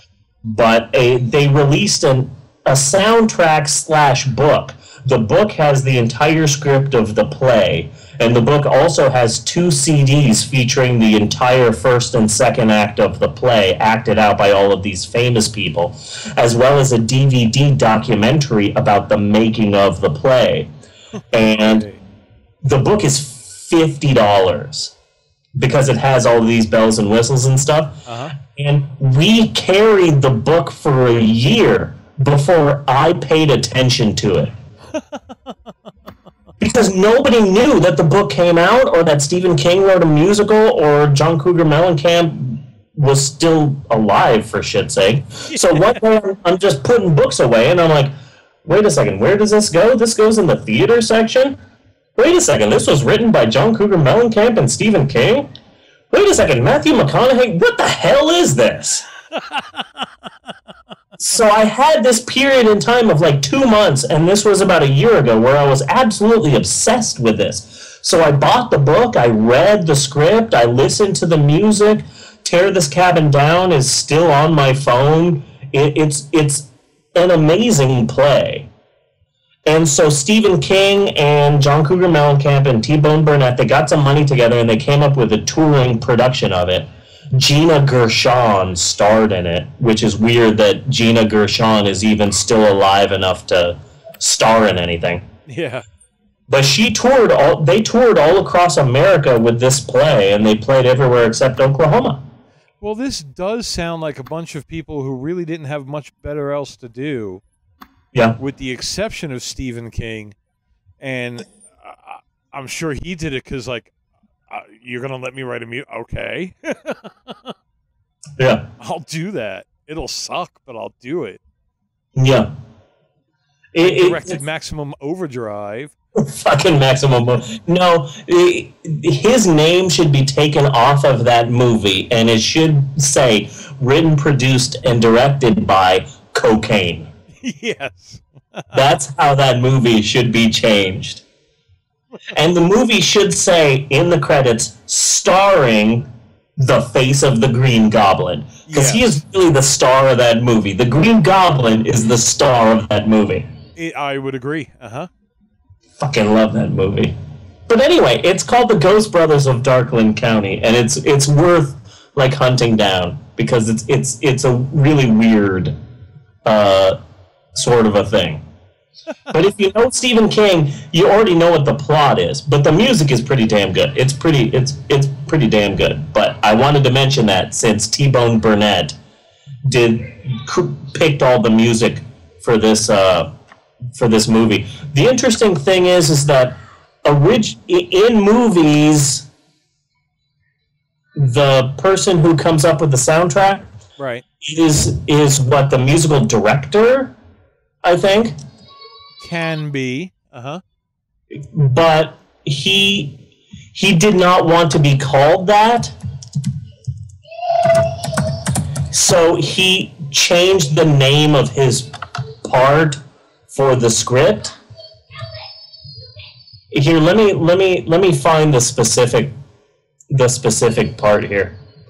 Um, there, T-Bone Burnett was going to be credited as the musical supervisor, but he changed his credit to music archivist because he hated the notion of being a supervisor. I wouldn't want anyone to think of me as management. Nice. Okay.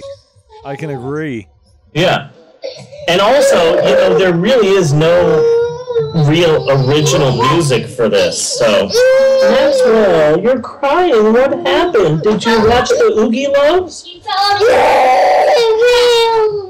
You fell? Where did you did you fall off the Empire State Building like King Kong? You fell off the chair, or did you fall off the hair? Did you fall off the hair? Why were you on hair, Maxwell?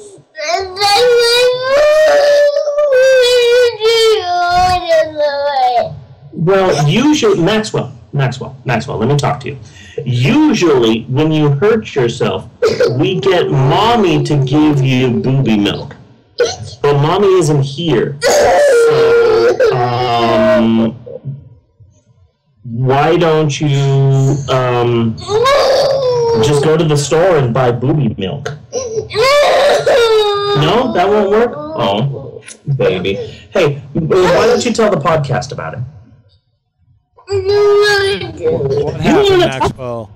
See, the podcast wants to know. The podcast wants to know what happened. No? Bella, you want to talk to the podcast? Yes. I want to tell them what happened. Hey, Maxwell, Bella wants to talk to the podcast. I was. Okay, okay. Bella, yes. Come over here and tell the story. Tell the story to the SD slot. That seems to be the place where people talk. Tell it to the SD slot. Um, I was tickling Maxwell. We were sitting down watching TV, and um, What were you watching on TV? This is of vital importance. no, it's not. Yes, it is. Tell me. Tell me. Thank you, Maxwell. You guys were watching ponies. Guys were watching My Little Pony. I told you it wasn't important. It was important. Was that the You have gum in your mouth while you're talking to podcast? That's very unprofessional, Maxwell. I mean, Bella. It's fine. I'll put it behind my deer, like ear. You're gonna put it behind your deer? ear, like Don't you find a deer.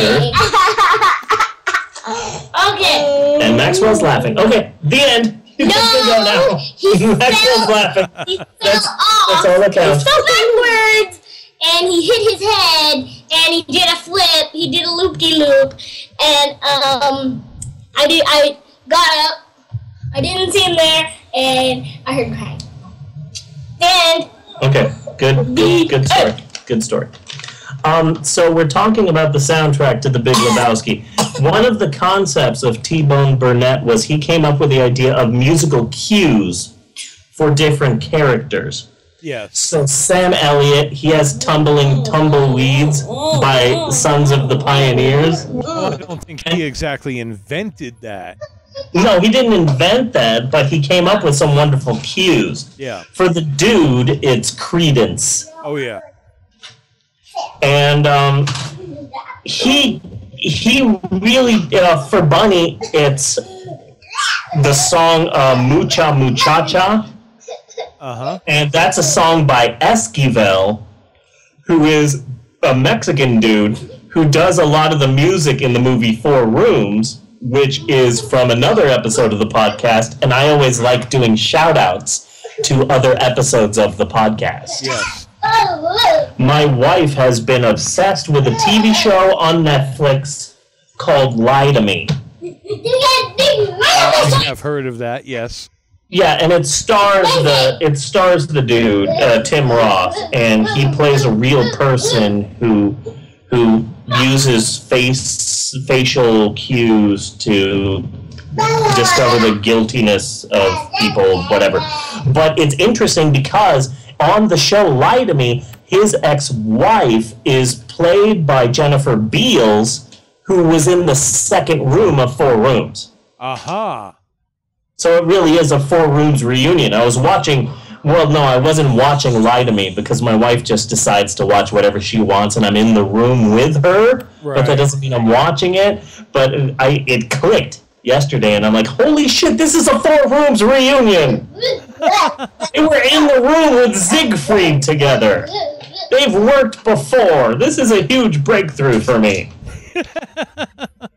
Anyway, I like the music Esquivel. For some reason, he, when I worked when I worked at the bookstore in California, we would constantly change the radio station. So sometimes we'd listen to the 80s greatest hits. Sometimes we'd listen to the 50s and 60s station, which was like 50% Beatles. We had good music. We, we really listened to good music. But at my store now, it's pretty much primarily classical music that I couldn't give a crap about. But every once in a while, we'll turn it to the swing station. Okay. Yeah. So we've been listening to the swing station a lot lately, which is great because apparently the swing station is 30% Esquivel music. Nice. There you go. Uh-huh. There's one old guy. There's one old guy who comes in every day and he sits on the comfy chairs and he's walking by and suddenly he looks at me and I'm singing all of the lyrics to Esquivel's Mucha Muchacha. or I'm singing all the lines to uh, Beyond the Sea or Mack the Knife or songs like that, Glendora by Perry Como, and he looks at me and he always says the same thing. Now, young man, how do you know this song? and I always give him a long-winded answer that he quickly loses interest with. Now, young man, how do you know this song? Well, this is Mucha Muchacha by Esquivel, which is used in the movie The Big Lebowski by the Coen brothers, and in 1998, okay, fine, fine, fine, fine, fine. You've But I- you've never tried saying something like, mm, you know, like, uh, have you ever heard of the internet, old man? No, no, no. Eh, Oklahoma is 80% old people, so they rule everything.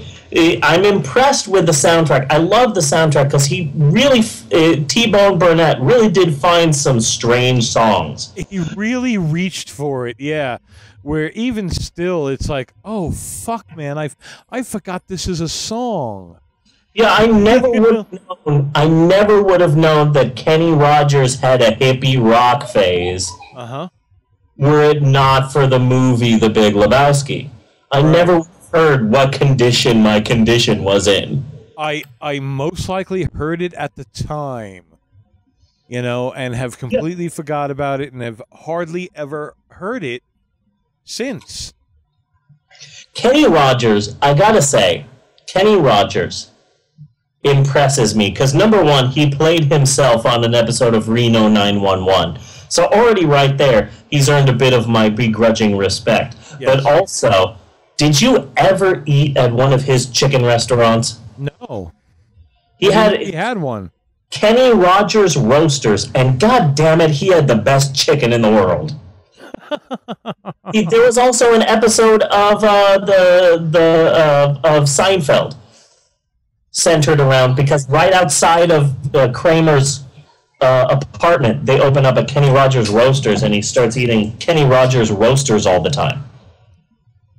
Even even better than Kentucky Fried Chicken because you've always been a really big Kentucky Fried Chicken fan. I love Kentucky Fried Chicken. I think it's the fact that I never eat Kentucky Fried Chicken, which is why I love it so much. But he, Kenny Rogers chicken was just so juicy that like you'd eat it and it felt like it was like 50% water.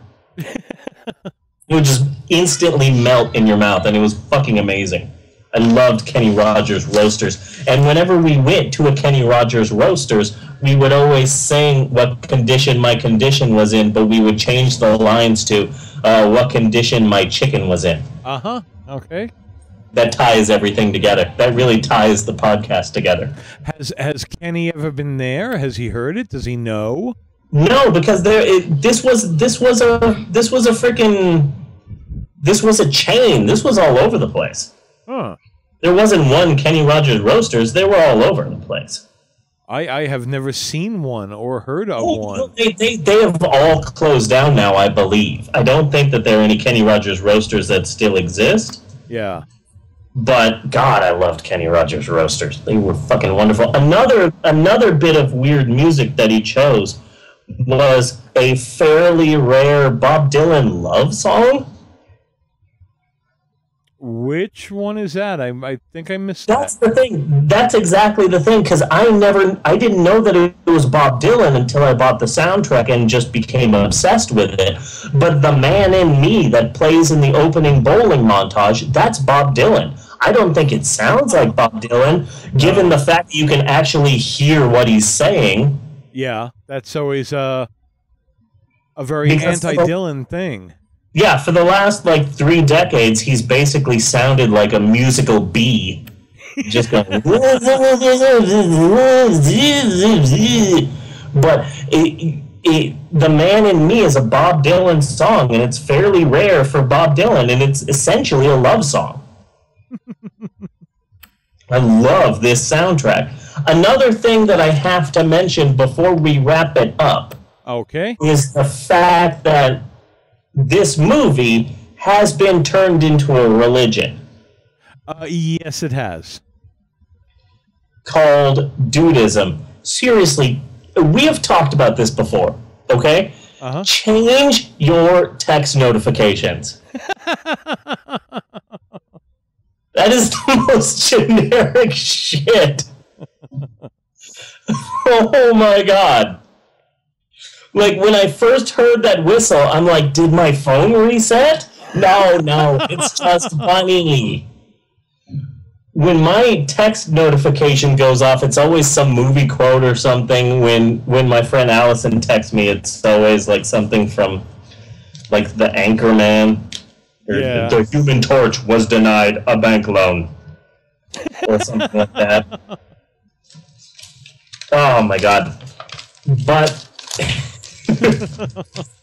so Dudeism, is a religion now, and I have to say that the concept of Dudeism is not surprising because the character of the dude that I think this is a very important character in the history of motion pictures because the dude represents a way of thinking and a very simplistic style of life that I think is admirable and also worth trying to obtain. Now, this is high praise coming from me, a man who created my own religion in 1996 and spent the first five to ten years being fucking ridiculed for it, Yes. laughed at, and attacked.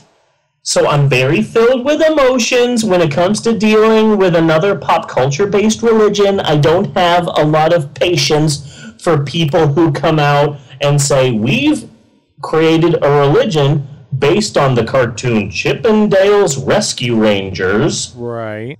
which is true.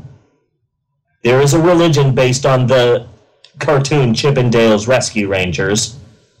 I had a feud for a while with um, uh, The with uh, Shatnerites, right? yeah, yeah, uh, Shatnertology, yeah. And I have recently learned that there is still a website up for the Church of Body Modification, and they treated me like shit last decade. but it hasn't been updated in about a year, so I'm fairly confident that they aren't the shit that they thought they used to be back in 1998, 1999. Yeah. But um, how, how how long can you swing by your nipples anyway? Good question. Like those people who were like hanging in 1998, they can't have the greatest body now. You know, they they will. You know that religion of body modification will lead you to a point of enlightenment, but the enlightenment is like, what the fuck am I doing with my life? And that's it. And then you stop swinging from the hooks. You hope some of the piercings close up. You know. yeah. Fuck those guys. Like seriously. seriously. God, I hated those people. The interesting thing, which I'm not smart enough to fully explain, but I created this religion to help people out. I was constantly attacked for it. I, I got death threats for Woodism. Really? I Yeah. don't think I've ever heard that. People really fucking hated the fact that I came up with a religion for Ed Wood. People went fucking nuts over it, and I, I did a lot of press, like 1998, 99, 2000, and the first uh, eight months of 2001. I did a lot of press, and I was all over the place, and almost everybody just treated me like shit. Mancow. Mancow's Morning Madness. He was a shock jock back when that was an actual career decision. And that's not a career anymore. Although I got to give a shout out to my favorite shock jocks, Ira and the Douche, who do a radio show in Pawnee, Indiana. Shout out to those guys. But after 9 11, though, nobody had a problem with Woodism Uh huh.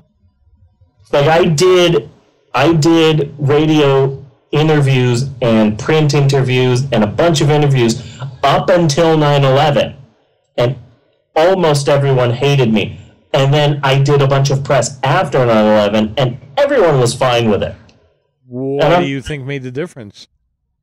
I have no freaking clue so I just don't know enough about American society to fully pinpoint it but it's definitely something And how did you get all that press? I want press. I know exactly how that press happened. I know the exact story, and it's an amazing story, and I love it. So, um, I was doing Woodism. I had the website, and then suddenly, uh, so Ed Wood came out in '94, came out in video in '95. In 1998, it was playing on cable, and the guy who owned the Associated Press watched it on cable, and then he said, and I learned this from a reporter. He apparently said, "I wonder what uh, I wonder what Ed if there are any websites on Ed Wood." And he just Googled Ed Wood and found the Church of Ed Wood, and sent a reporter and said, "Interview this guy." I did the interview in a break room of a bookstore right before no during lunch Yeah. in Phoenix, and I it was a half hour interview, and the woman was really super nice, and we talked about a lot of things. And then at, at the end, she said, "Can I leave some contact information for you?" So that other people who might read this article on the AP Wire might get a hold of you. And I said yes, assuming that she was going to put my email address or maybe the website. Right. She put my home phone number. Oh man. So literally, two days later, I got a call at 5 a.m. from a morning radio station in Fargo wanting to talk with the guy who created the Church of Ed Wood. And from that point on, it was just constant calls to my home phone number from people all throughout the world who wanted to talk to me. It was a total absolute awesome. yeah, no, it was amazing. It was amazing. The Fargo people were the only real nice ones. The Fargo people, and then um, the guy who interviewed me from ABC News Radio. Yeah. They were the only nice people. Everybody else was just absolute crap to me. I was just like a funny bit for their uh, morning radio show or their college newspaper or their strange small local newspaper in some small town. But I got a ton of press and it was weird. It was all just a fluke. This one reporter put my home phone number on an AP News article. It was weird. But after 9 11, suddenly people. were- Yeah. Oh, yeah. It was. It's a wonderful story to tell now, but it was really weird for a while there. I was doing some pretty major interviews, but then it, it didn't matter what major interview I got. It didn't matter that I was on Howard Stern for like two minutes because oh, my friend is friends with a guy who's friends with a guy who's in the Church of Body Modification. and oh, they were just interviewed by Dean Cain, the superstar. It did not matter what I did because the Church of Body Modification was just one rung higher.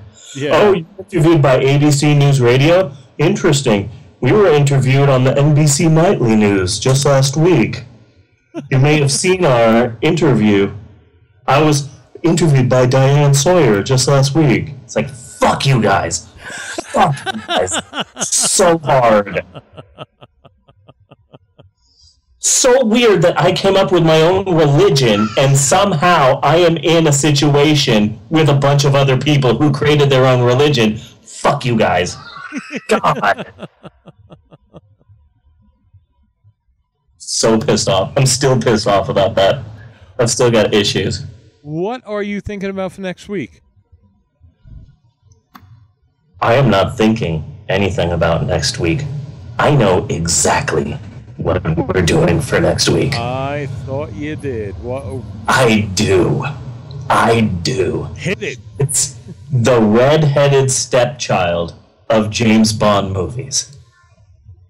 The one James Bond movie that will be dismissed by a James Bond fan as, oh, oh, that doesn't count. No, it does count. it absolutely does count. And you just want to not admit that it exists because this is a major, huge, bizarre James Bond film. Yeah. Any James Bond movie that features Woody Allen as Jimmy Bond. Oh my god, this is the most amazing movie ever. I love this movie. It is the greatest ending in the history of movies. I love this ending. I hate the movie because the movie is difficult to get through, but the ending, oh my god, it's it's a work of art. It is a work of art. I, I love love this movie. I haven't seen this in like a hundred years.